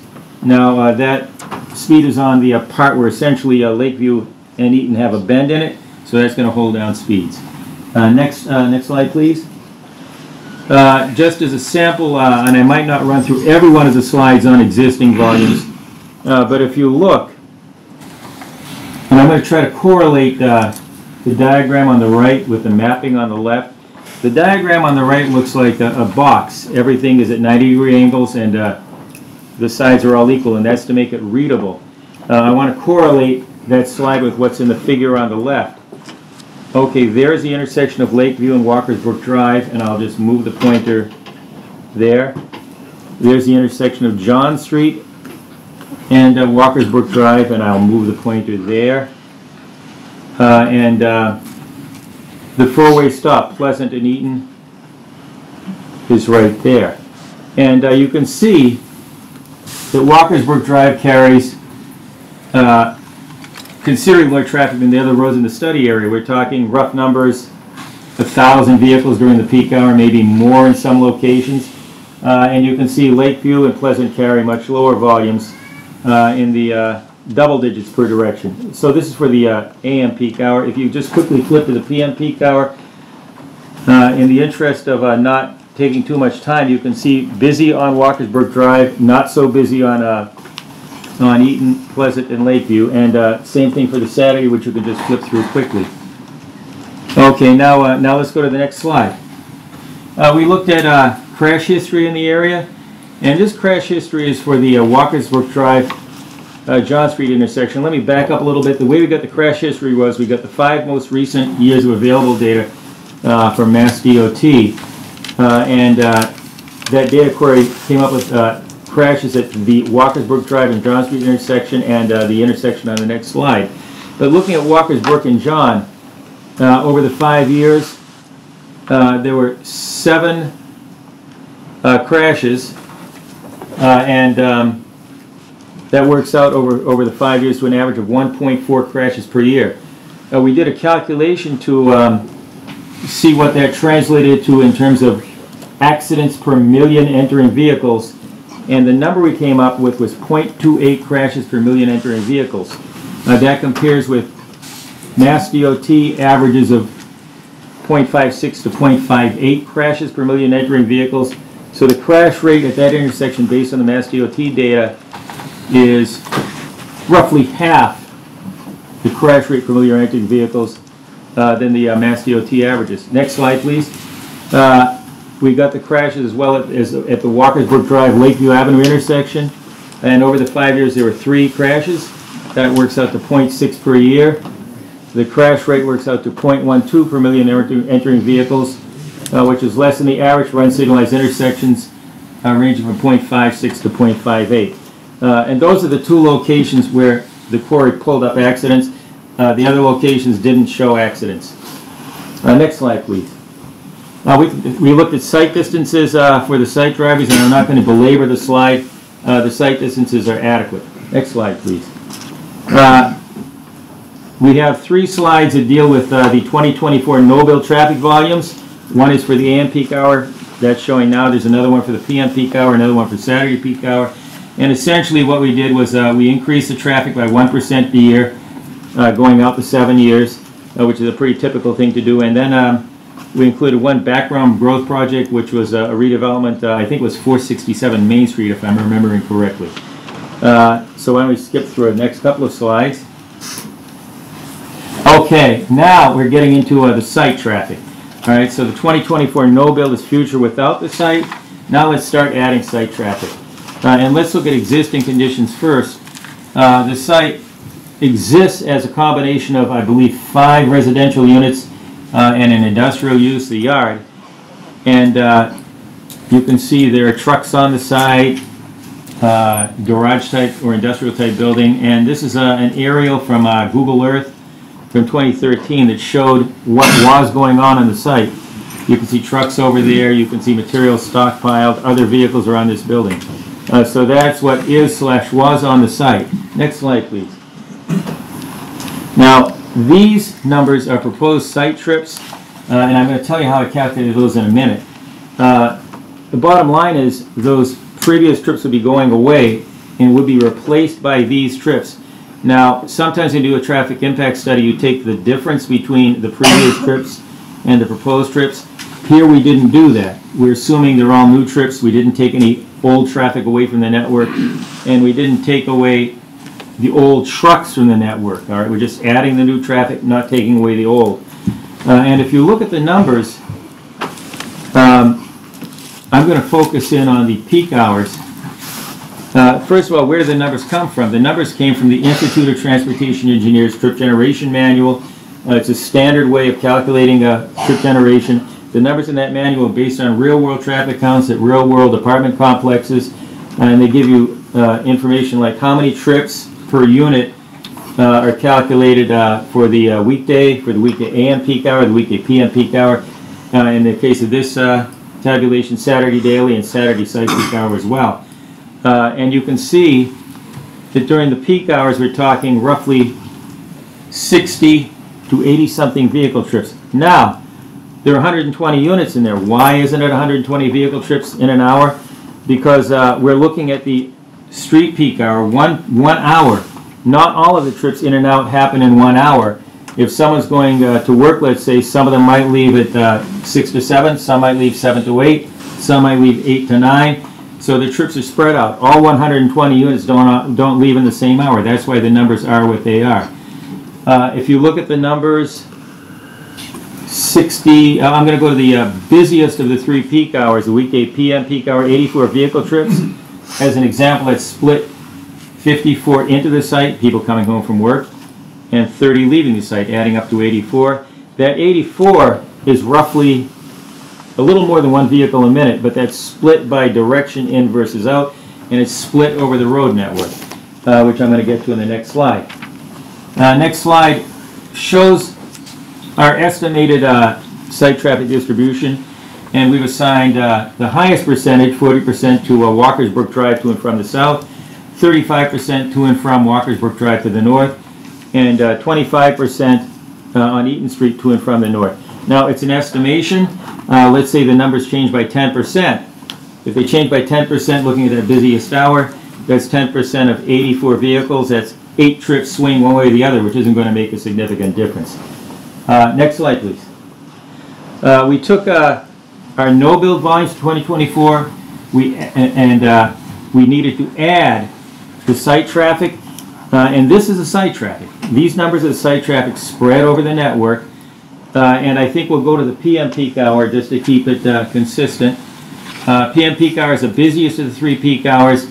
You can see all of the site trips are there, 54 in, 30 out, total of 84. Uh, And you can see when we spread the trips around the network, uh, the numbers at uh, Pleasant and uh, Eaton, the four-way stop, uh, work out to be uh, 7 to 14 added in, in various direction, per direction, so to speak. Uh, And then if you go out to um, Lakeview and Walker's Brook, the numbers are 12 turning left out of Lakeview, 11 turning right out of left Lakeview, 22 coming in from Lakeview, uh, from Walker's Brook and turning right into Lakeview, 18 uh, turning left from Walker's Brook into Lakeview, and then go up to um, John Street in Walker's Brook. Uh, The numbers are uh, 18 and 11 added to that intersection for direction. So the numbers we're talking about are, in, in traffic engineering analysis terms, not large numbers. Uh, they're not, not 100 trips in an hour, they're, they're in the, um, in the, uh, oh, 7 to 22 trips per movement per hour. Those are the sort of numbers we're talking about. Next slide, please. Uh, okay, good. Uh, why don't we go to the, uh, PM, just to be consistent. Okay, so as a sample, we'll look at the uh, 2024 build, traffic volume, weekday PM peak hour. And this is uh, where we have all the numbers in there, all right? Uh, This is uh, the no-build traffic plus the site traffic. And you can see that Walker's Brook Drive still has the larger numbers. It's the busiest. Uh, And uh, I'd call it a high-volume road. Uh, And uh, Eaton Street and Lakeview Avenue have more traffic than they did under the existing condition. They have more traffic than they did under the 2024 no-build condition, which is added traffic not due to the project. And they have a little more traffic under the 2024 build condition, but it's still a relatively low-volume scenario. So Walker's Brook Drive stays high volume as it was to begin with, and uh, Eaton Street and Lakeview stay relatively low volume as it was to begin with. Next slide, please. Okay, now we're going to look at some traffic volume changes, and this basically looks uh, at the edges of the study area to see how many trips are entering and leaving the study area. Uh, And you can see the numbers are in the two digits. Uh, We're talking um, 16 to 34 vehicle trips added uh, at each one of the edges of the study area. Walker's Brook Drive north of John Street, Walker's Brook Drive south of John Street, and Eaton Street north of Pleasant Street. Uh, And those numbers are split by direction. Uh, Some will be going north, some will be going south, for example. And if you look, take a look at the 2024 no-build volumes and the 2024 build volumes with the project. the differences are not large. Walker's, Walkersburg Drive, busy to begin with, a little bit busier with, uh, with the project, but not much. Uh, Eaton Street, uh, the volumes go up, but they're still much lower uh, than Walker's Brook Drive. All right, you can see, for example, 97 to 118, Eaton Street north of Pleasant Street during the weekday PM street peak hour. Next slide, please. Okay, now let's get into one of the last steps of the analysis. That's doing the uh, capacity analysis. For the capacity analysis, we use the standard procedures in the uh, 2010 Highway Capacity Manual. Uh, we use the Synchro Capacity Analysis software, which is also standard. And a primary output is level of service. Uh, and uh, level of service simply is a index to delay. If you have an average delay per vehicle of 10 seconds or less, that's level of service A. Level of service B is 10 to 15 seconds, C is 15 to 25, D is 25 to 35, E is 35 to 50, and level of service F is greater than 50. Uh, and uh, usually I would consider level of service A to be a low delay scenario, uh, level of service C and D a moderate delay scenario, and level of service E and F delayed scenario. Okay, next slide, please. Uh, this is an overview of um, what's going on with respect to capacity analysis. And uh, first, I'll look at the intersections on um, Walker's Brook Drive. I'll start with Walker's Brook Drive and John Street. Uh, and you can see what's going on there is the left turns from Walker's Brook Drive to John Street are working with low delays with or without the project. Level of service A. Uh, the movements out of John Street are working with delays with the project. Uh, and uh, without the project, I mean, uh, they have with delay, it's operating with delays with or without the project, in fact, under existing conditions. Um, That's an existing condition, this, it's not going to change markedly because of the project. There are gonna be more vehicles there, there's gonna be an uptick in delay, but it's still gonna be the same order of magnitude, the same character of operation as you have uh, without the project. Uh, Now let's look at Walker's Brook Drive and Lakeview Avenue. Uh, If you look at the uh, level of service there, if you're making a so- a a left turn from Walker's Brook Drive, uh, you see level of service A. I think that's my phone hearing me talk. Uh, And um, you do is search for an answer to electric drive. that is my phone. Next time I'm gonna have to shut it off all the way. Um, Hopefully it doesn't say anymore. Now take a look at the levels of service. This is a movement out of Walker's Brook Drive. Uh, We're talking level of service C to D. Uh, And uh, it's C under the existing conditions. Then under the no-build conditions, uh, you have uh, level of service C in the morning peak hour and D in the, uh, in the weekday PM and Saturday peak hour. And then you have level of service D across the board uh, during the uh, weekday PM peak hour, excuse me, during all the peak hours. Okay, so bottom line, you, you have a level of service C to D, and the only time it changes due to the project is during the weekday AM peak hour, it goes from C to D. Uh, but it's a minor change because the delay only goes up about seven seconds. All right, so that's what we have there. Uh, now that intersection is the one that's immediately adjacent to the, uh, the General Way intersection. So when you're at that intersection, uh, when you're making the left out, you have to, you have to pay extra attention. Uh, there, there are other things going on you have to be cognizant of, uh, and that's an existing condition and one that'll continue. Uh, If you look at the other intersections, at the Eaton Street, Pleasant Street four-way stop, it's level of service A across the board. And if you look at um, Lakeview and the site driveway, it's level of service A across the board. And on site driveways, I just combined all the volumes into one driveway uh, to load everything in as, as severely as I could. It was still level of service A. Next slide, please.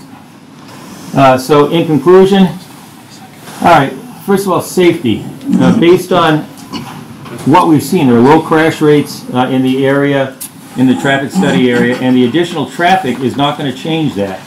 Uh, It's not going to change the nature of traffic safety.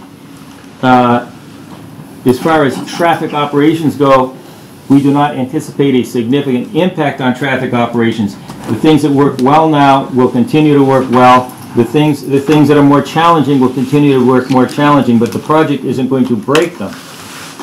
Um, As far as um, industrial traffic goes, right now that site has industrial traffic and trucks. That will go away and be replaced with residential traffic.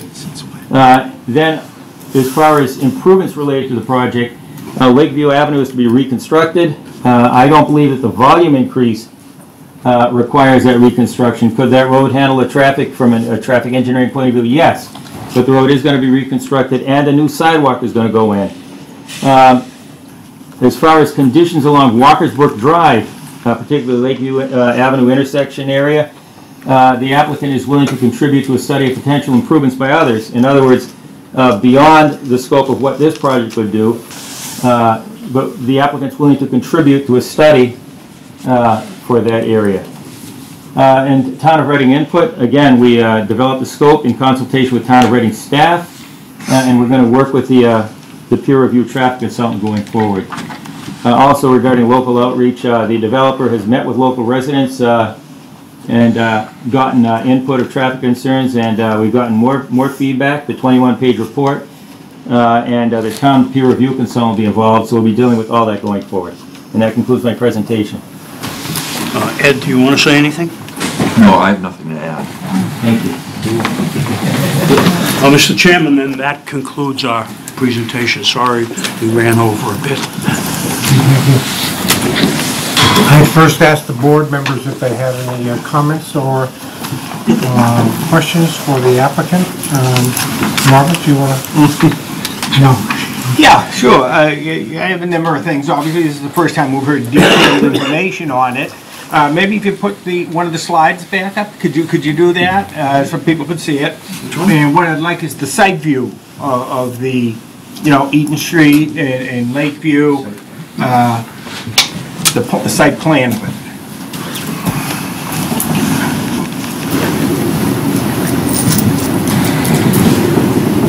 Yeah, something like that, that's fine. Uh, One of, the- one of the things that strikes me, and I heard it mentioned there, was the, the, the height of the buildings and the density of it. I, I do not see a lot of green space, and I know you've talked, oh, we're gonna do a park, uh, we're work, gonna work with Concom, et cetera, et cetera. But I, I look at it and I do not see a lot of green space at all. I see no details at all in regards to this, so, the, the park that you, you were talking about, a playground or, or what it is. And, and I think the residents would need more amenities in regards to that, into, to green space, maybe walking paths and, and things such as this. Uh, know, landscape areas, uh, picnic area, or something to, to that effect, uh, on it. And I, I think one way to maybe obtain that is by lessening the density. Now, whether it- it's remove a floor or so on each building, uh, I did not like hearing, we got four, it's gonna look like a four-story building from the front, but from the back, it's gonna be a five-story building. Uh, Look, it just, just sounds way out of character for that area on it. Uh, Another question, uh, and I have, and and maybe clarify it, on the, working with the town on the reconstruction of Lakeview Avenue, is that to go all the way down to Walker's Brook Drive, that reconstruction of Lakeview? Yes, that's Yes. correct. Okay, so, so that will include that. And then the other thing then that that concerns me is, once it gets to uh, Walker's Brook Drive, and we have, that's a signalized intersection there, or you will be entering, oh, let's say the, the, a signal in the area of a signalized intersection. I don't believe Lakeview right now is controlled by signals, but it's right there. It's in the proximity, a- a- and I think some work needs to be done in regards to how this is all gonna work, tying in to a signalized intersection uh, at at Walker's Brook Drive, Market Basket entrance there, that, that whole intersection there all needs to be, to looked at and and worked at. And I know you mentioned that you would be willing to work with the town on that in regards to doing something. Maybe that's what it needs, some modernization of those signals there uh, on that. Uh, Another thing, when, when I was looking through it, and I know we've gone through this in other 40Bs, John, is, and we've done it before, is loading areas for each building. I mean, you're gonna have people, it doesn't happen every day, people moving in and out, but you're gonna have moving vans, or- or even, or, or at at the very least, a box truck for people moving in, people moving out, deliveries, et cetera. And, and I think we need a provision at each building where you're gonna have people, uh, you know, moving into their apartments, into loading furniture, unloading furniture, et cetera. And, and another thing in this day and age is, uh, daily deliveries to each building, to the occupants. Today's day and age, you see the FedEx trucks, the uh, UPS trucks up and down your street. People do a lot more shopping today and have deliveries of cartons coming to their residences a lot more than they did 10 years ago, five years ago. And I think some provision needs to be made for that, or at least discuss it, tell us how it's going to work, et cetera, uh, on that. Uh, In regards to uh, utilities, uh, obviously, we're going to have, the town engineer will be looking at this, and uh, I'll be looking to him in regards to, you know, what the utilities in the area will be able to uh, take. I'm going to imagine that the uh, wastewater would be okay. You say you're going to extend the sewer up there. I would suspect the sewer in Walker's Brook Drive should be able to handle the additional uh, wastewater from, e- from, from this development. But this is something we'll uh, expect from the uh, town engineer, a letter on that. Uh, Same thing uh, from other town agencies, fire chief, or, yeah, the fire chief in regards to access to the building, uh, police chief, etc. Uh, And that's about what I thought of as- I listened to the presentation, John. And obviously, as we get into this and- and go through each one, uh, or go through each meeting, uh, we'll get into certain items uh, a little deeper, etc. Uh, One issue, and maybe this is between the board members, maybe Chris will get, is, I'm I'm still a bit up in the air on this safe harbor. What, We're what are gonna we? address that right now. That's what I'm gonna say. What are we gonna be doing that? Obviously, if this were tonight, we had 15 days to make a mm-hmm. decision on that after opening up the meeting tonight, but I see we do have a letter from the applicant uh, on that, that he's willing to extend that till, mm-hmm. to next year, and wh- what are the ramifications? What's our advantage, disadvantage, et cetera on this? So I think we need some discussion on that. Mm-hmm. Yeah. Okay? Nick? Um, I'm going to save most of my comments and questions for later, but I did have a few questions. Um, Given it was an industrial site, um, was there a phase one or any environmental review done of what's on the site right now? Chris? It's my understanding that a, a, a phase one or a, a 21E site assessment for phase one has been done, uh, uh, by the, uh, by the owners. Did that reveal anything? Not that I know of, that's not our area of expertise, uh, but I know it was uh, submitted, I believe, along with the, um, the project eligibility letter application that was submitted to Mass Housing. But we can submit it to the, to the board. That'd be great. All right. Um, I had a question about, uh, given the proximity to, you know, the floodplain and its propensity to flood, um, and that there's going to be underground parking, is it anticipated that the underground parking will flood at a 1% high flood event? Uh, So in short, no. And the reason we can say that is because we've, uh, our- the test holes that we've, uh, that we've excavated, we know where estimated seasonal high groundwater is. And not only is, is the parking garage well above that elevation, our stormwater management structures that are under the ground have to be so many feet above that elevation. So we're very confident that the, uh, that the parking garage is going to be well above elevation 84. And all you have to do is take a look at what the, um, take a look at the con, the uh, contours that are proposed, the floor elevations. Uh, The 100-year flood elevation is elevation 84 on the plan. Okay, We're great. well above that. And as far as the 1.5 parking ratio, um, I know we'll probably talk about that more later, but is there some type of parking management plan proposed? Or is it going to be free-for-all as far as where residents can park and how many cars can be on the site? Will there be, re- in other words, I think, will there be assigned spots or not? Reserved, assigned? So at this point, I think that's something that, uh, that the, uh, the owner hasn't decided, Uh, but we're willing to, to hear some ideas. That's everything I have, John. Well, as has been said, this is a kickoff meeting. I mean, we're all here to digest the information to be presented by the contractor, the developer, and I'm interested in hearing from the the folks in the neighborhood. They did a heck of a job putting their response together. Uh, And then there's been a couple of DRT meetings on the part of the town of Reading already. There's a lot of information that needs to be digested and put together and thought through. I think this place, this development has the potential to be a really nice development and improve the property that's there now. The major considerations I have, and I'm not going to get into the detail of them at this point in time, some of them have already been identified. I think one major issue to me is the concept, the whole egress access to this development from both Eaton Street and Salem Street and Walker Brook Drive. Uh, It's obvious that Lakeview Avenue is a disaster. It's, it's terrible, and it needs to be redone.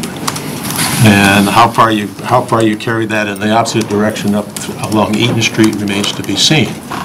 But uh, that has to be thought through. And the main intersection that bothers me more than anything else is the one at Walker Brook, uh, Walker Brook and and General Way and, uh, and Lakeview. I mean, there's a lot of cars coming from all kinds of directions there, okay? And, and be interested to see what the thought process yields for us in terms of that particular intersection. The other thing that I'm interested in and making sure of is that the conservation laws and the environmental laws of the state are met. Um, That's an area which has a lot of wetlands and brooks and all that kind of stuff around it. I just want to make damn sure that that's all well addressed. Um, The size of develop, of the development comes across to me as big. We went through this with Reading Village down by the train station, and they did ultimately reduce the size of that project by one story, okay? I felt at the time that maybe if you took it down to another story, it would have fit beautifully into that area. And, and if you look at this one, uh, I don't know what the economic number of units is for you folks, okay? That, that makes the project worthwhile. Maybe that's something we talk about later, but I think that if you took a three-story operation in this, in this area would, would, to my view, would be really, really nice and pristine. But there's probably issues to be dis- discussed as to whether you can or cannot, or should or should not do that. I think the DRT reviews that have been done so far and the community, uh, uh, of the neighbors and their response has been well done. Uh, And I frankly think at this point, uh, what I've read in the document, and it's been, it's been amplified on a little bit in the presentation tonight, I think there's a lot of issues that have been raised in both places that still need to be addressed in some substance, and I have no qualms or concerns that they will be. So I look forward to this whole process. Hopefully, we can come to a, a good finale here that's, that's pleasing and acceptable to all parties. That's all I have. Well, being the last member, uh, a lot has been written by uh, the HCD in their October of uh, 17 um, letter. Um, One was uh, indicating what the community was looking for, and it mentioned four particular items. I won't go into them, but they've already been mentioned. And then it talked about uh, also um, the issues that DHCD felt needed to be addressed um, at these hearings. And those are somewhat the same, but a few of them are different. And because this is an initial meeting, we're not going to get into all of this, because as was mentioned by Chris before, um, we haven't heard from a lot of the, uh, the staff yet, police, fire, engineering, um, all, all of them need to address something. Some of this has been addressed at the, um, um, DRT. the the DRT meetings, but not all. Uh, So I'm gonna, I'm gonna hold because of the time issue that, that- that we're under too. But I do want to bring up one issue that I should have brought up earlier, and I apologize for this. Um, You see sitting before you four members of the Board of Appeals this evening. It should be five members of the Board of Appeals. One is out. Uh, He phoned in, he's sick, he could not make it. So, um, this, to move forward, we need to have five members of the board uh, be sitting here. Um, There is a, an option, and that's called the Mullin Rule, in which um, Eric can look at the tape that's being made with uh, Reading um, RCTV. RCTV, um, the radio side, you're up there right now.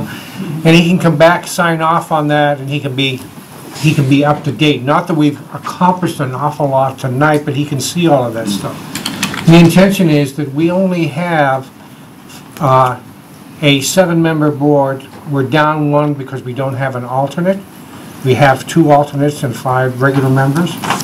The issue tonight is that one of our members, one alternate is not, we do not have it on the board, and the chair had recused himself from this, so we're already down to five. So we want to proceed with five. So some of that is going to be in in scheduling, we want to make sure that all five members can be here, because this Mullin Act takes time to get people acclimated to where we are as we move forward. And you can only do it once. That's right. That's correct. And that's why we want to be very careful on the future meetings. We didn't expect this tonight, but we were under the gun again uh, because of the, uh, the deadline requirements under 40B, and we had to, we had to move forward. So we want to make sure in the future that we schedule the meetings appropriately. And who is the uh, member that uh, couldn't attend tonight? Eric. Eric Hagstrom. H-A, H-A-G, STR. S-T-R-O-N.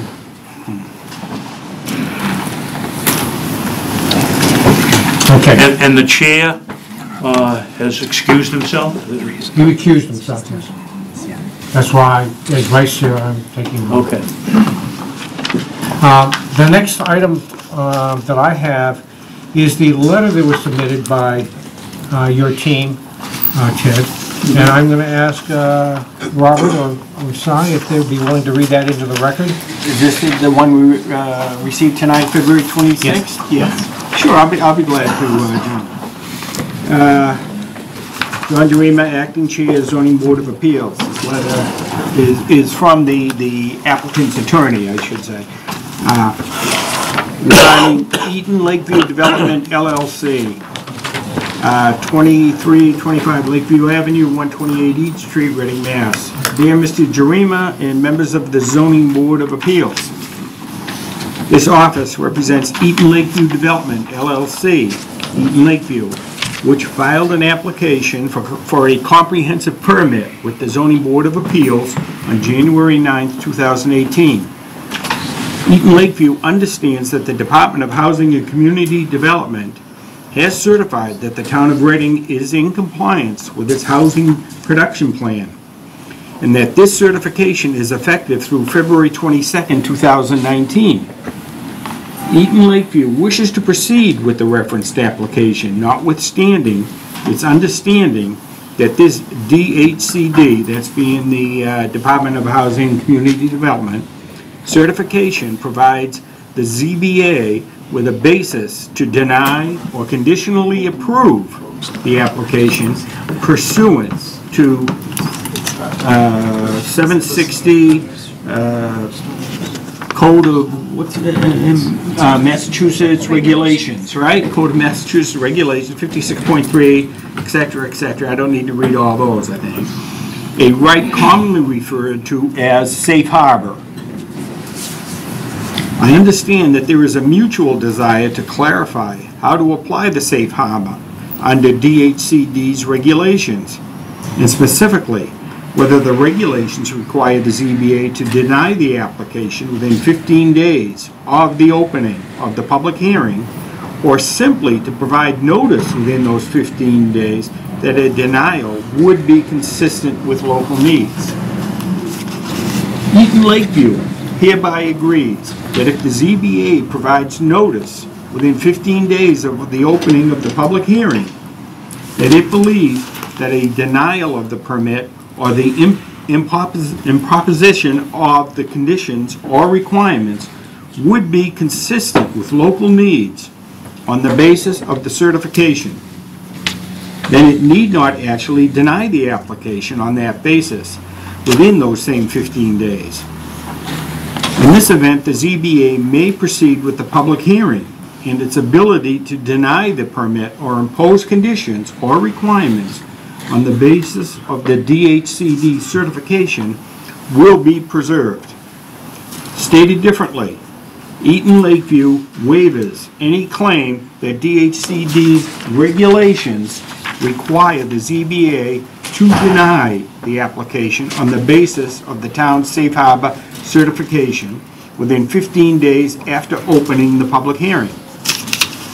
Further, Eaton Lakeview agrees that the time period for the town to exercise its safe harbor claim is hereby extended to February 22nd, 2019. In addition, 760 Code of Massachusetts Regulations states that the public hearing on a comprehensive permit application shall not extend beyond 180 days from the date of opening of the hearing, except with the written consent of the applicant. Eaton Lakeview agrees to allow additional time for the ZBA to conduct its public hearing.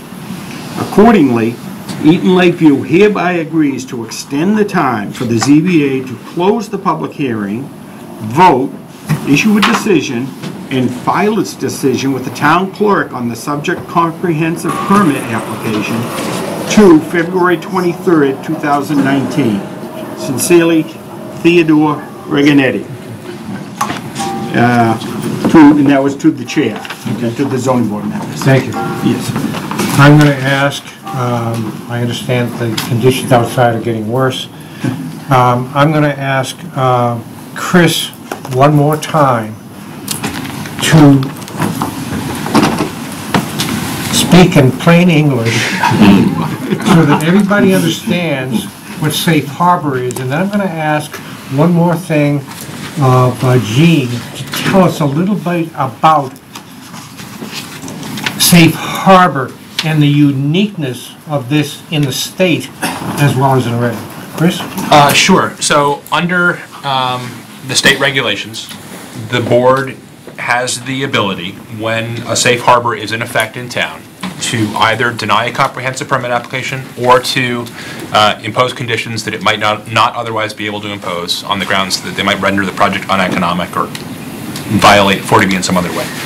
So you have the power, the board has the power, as long as the safe harbor is in place, to deny the application or to impose conditions that might otherwise be problematic. Um, you- the- There is presently, right now, a safe harbor in effect in the town of Reading, and that is on, the- that is because the town has uh, recently produced enough dwelling units in town, affordable dwelling units, to meet um, the requirements of its housing production plan. So the town has, through the course of permitting other projects, uh, produced enough affordable units to satisfy DHCD that the town is doing what it is supposed to do under its housing production plan. DHCD has certified that in writing, and that written certification uh, gives the town that safe harbor. Now, how do we use the safe harbor? In order to use the safe harbor, the zoning board of appeals, starting tonight, must within 15 days uh, vote to uh, provide the applicant with written notice and with a copy to DHCD that it believes that it, the safe harbor is in effect, and as a result, that the board has the right to issue a denial or a conditional approval um, that would be consistent with local needs. Um, So, and it can vote to provide that notice to the applicant. The applicant has made clear um, that it- the board does not actually need to deny the application. It can just provide notice that it believes the safe harbor is in effect, um, and then can later on turn to use it on, as a basis for denial or conditional approval if it wants to. But the, I think the, the important step, if the board wants to exercise this safe harbor, or exercise is probably the wrong word, believes it can use the safe harbor, and I believe that to be true, then it needs to, tonight, vote to provide that written notice to the applicant. And the- on top of that, the applicant has extended the time from the 180 days to the deadline, which is the 22nd of February of 2019, to come up with a solution uh, for this development, uh, the 40B, which uh, then puts them back on the board again the with the potential of getting another safe harbor for another period of time, if we can come to that agreement. And that, that is an important point that I think I neglected to mention, which is that the, this, this date that we've put everything off to off in the future, of February 22nd, 2019, is the date that the safe harbor would go- automatically go away because it is limited in time. When you are certified by DHCD, when the town is certified to be in compliance with its housing production plan, that is a, uh, a year or two-year-long safe harbor period that goes into effect. The one that is currently in place is two years long, and it will go away on February 22nd, 2019. So that's, that's the reason that date was, was selected. Okay. I'm going to ask Jean, and then I'm going to ask, um, I'm going to ask, come back to you and ask you if you prepared a motion for us for this evening, which I would like to take a vote on. Okay, Okay. so Jean? Yes. Tell us a little bit about this. I, I will. I just, I want to preface my comments by saying that I don't want to alarm anyone, but two other boards uh, recessed a short time ago, and I'm getting text messages on the treacherous driving conditions out there. So I just want everyone to be aware. Um, We had scheduled this meeting in March, and with the help of the applicant, we're given extended time so that we could avoid winter conditions. So, so much for planning. Um, But on a much more positive note, um, the work that we do, Julie, myself, Andrew, Kristen, um, we are planners, and we come to work and proactively plan for things like affordable housing. And we have been diligently working to do what's right for the town of Reading, but also satisfy the mandate by the state that says if you don't have 10% of all the housing units in the community deed restricted as affordable and what they consider affordable housing, then you're subject to comprehensive permits that don't have to go by zoning. And um, because of, I, I want to say, the staff and credit the people that work for me as really working hard to not only do the planning work, but to also follow up in the myriad of regulations. And it is, it's a beast to get through the regulatory requirements. And because we've done the, the uh, housing production plan and produced the units, so we've planned and we've gotten results and actually produced units. The state has said, you are one of a handful of communities that are now meeting what you said you were going to do in your housing production plan and qualify to be a certified community. And in our case, it's for a two-year period. Unfortunately, one year's already gone, but it's, it's still a two-year period of certification. It's very rare, and I'm very proud of all the work that everyone's done. Um, And because we've done that work, we have this ability to now um, have more time, collaborate with the developer, and figure out the best way to make this project work for Reading. Thank you. You, Chris, I'll turn it back over to you. Um, I think we've asked you to draft a, a quick motion that would meet all the requirements um, to send a letter back to the applicant and to DCHD um, relative to a vote that was taken by us this evening. And I would prefer, rather than waiting the 15 days, uh, open it tonight, decide what we're going to do with it, and then move on. And I I have prepared such a motion on the assumption that you would want to invoke the safe harbor um, to- in in terms of advising the applicant that you believe you can use it, uh, not actually denying the application tonight. Um, So I have a motion that would would would have the board take that vote and instruct uh, town town counsel to uh, prepare the written notice and send it to the applicant. Bob, would you want to read that motion? I will be glad to. Uh, It is hereby moved that the zoning board of appeals vote to notify the applicant that it considers that a denial of the comprehensive permit or the imposition of conditions or requirements on the comprehensive permit will, would be consistent with local needs on the grounds that DHCD has certified the town's compliance with the goals of its approved housing production plan, and to request that town counsel prepare a written notice to the applicant and to DHCD in accordance with 760 Code of Massachusetts Regulations 56.038A. We have a second for that motion? Second. Sorry, I second. Any discussion on the motion? We understand that we're, we're going to uh, empower the safe harbor, but we also are going to move on with your letter of understanding that you have uh, worked out with town counsel and, and the planning department and move forward so that we can get to the point where we need to get to well prior, hopefully before the 23rd or the 22nd, actually 23rd of uh, Next February 2019. And and that is consistent with the letter that I submitted, so... Exactly, which we read into the record. Any other discussion? Hearing no discussion. All, all members in favor, please indicate by raising your right hand and saying aye. Aye. Let the uh, vote show four zero zero. Now, I know that everybody is here this evening because we want to hear the rebuttal from the uh, neighborhood.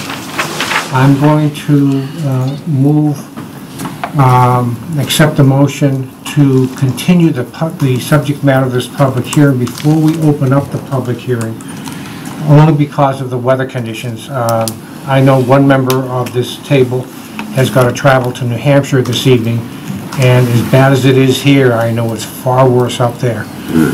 Um, So, uh, do I hear a motion? I know it's not a very popular one, but do I hear a motion? Uh, John, before we make a motion, what do we have in mind for the next meeting for this 40B? Would it We be had two set- weeks? We had set aside the 21st clearance-wise, so that there is nothing else pending on the 21st.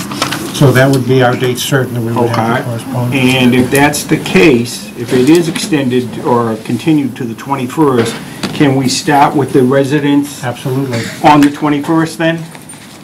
21st of March? Of March? Yes. Pardon? That's two weeks from today, 21st of March? Correct. Uh, yeah, 21st of March, yes, I'm sorry. Yeah, okay, I will uh, make a motion then to uh, continue this meeting on Eaton Street, Lakeview 40B, until March 21st, uh, 2018, 7 o'clock. 7 o'clock, uh, where? Bigger room. It would be nice, but I think we'll leave that up to daytime government, what they decide, and then it would be posted. We'll do that. Check, people can check the website. Check the website. Okay. And No, I I believe, Mr. Chairman, you need to designate where the meeting will be. I I don't think you can leave it up in the air. I- I We're think scheduled to you- be in this room. Okay, we'll schedule it right for this room then, yeah. Then we'll, then we'll continue the uh, subject matter of this hearing until the 21st in this room at 7 o'clock? Sorry, Mike Flynn, 190 Green Street. Uh, Are there other rooms available? We obviously had a lot of members of the community um, that are interested in attending. They they can't fit. Uh, We know we've taken, taken these meetings to other locations in the past. Um, I would encourage that, you know, while there's a a group of people that are trying to represent the neighborhood concern, we certainly can't represent everything that they, everybody that wants to say something. And and we would encourage you to to find a place that can fit everybody. Senior center, we need to get the okay from not available. I, I don't know. Yeah, we don't know Yeah. right now. So we could continue it to this room, and then can we, after that, like, could do modify that, the yes. location once Yeah. once we Could do find a that, better yes. place? Okay. Okay. Okay, there's a motion on the floor, do I have a second? Second. Do I have a vote? All in favor? All those in favor? Four zero zero to Okay. continue the 21st. This room, unless you hear otherwise in the record. Excuse me, can I make one suggestion, please? come down to see the scene, the scene of the crime.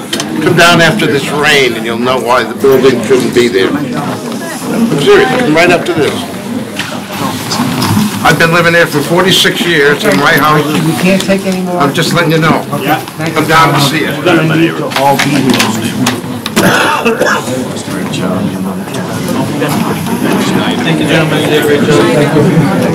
Oh, sure. Got another one.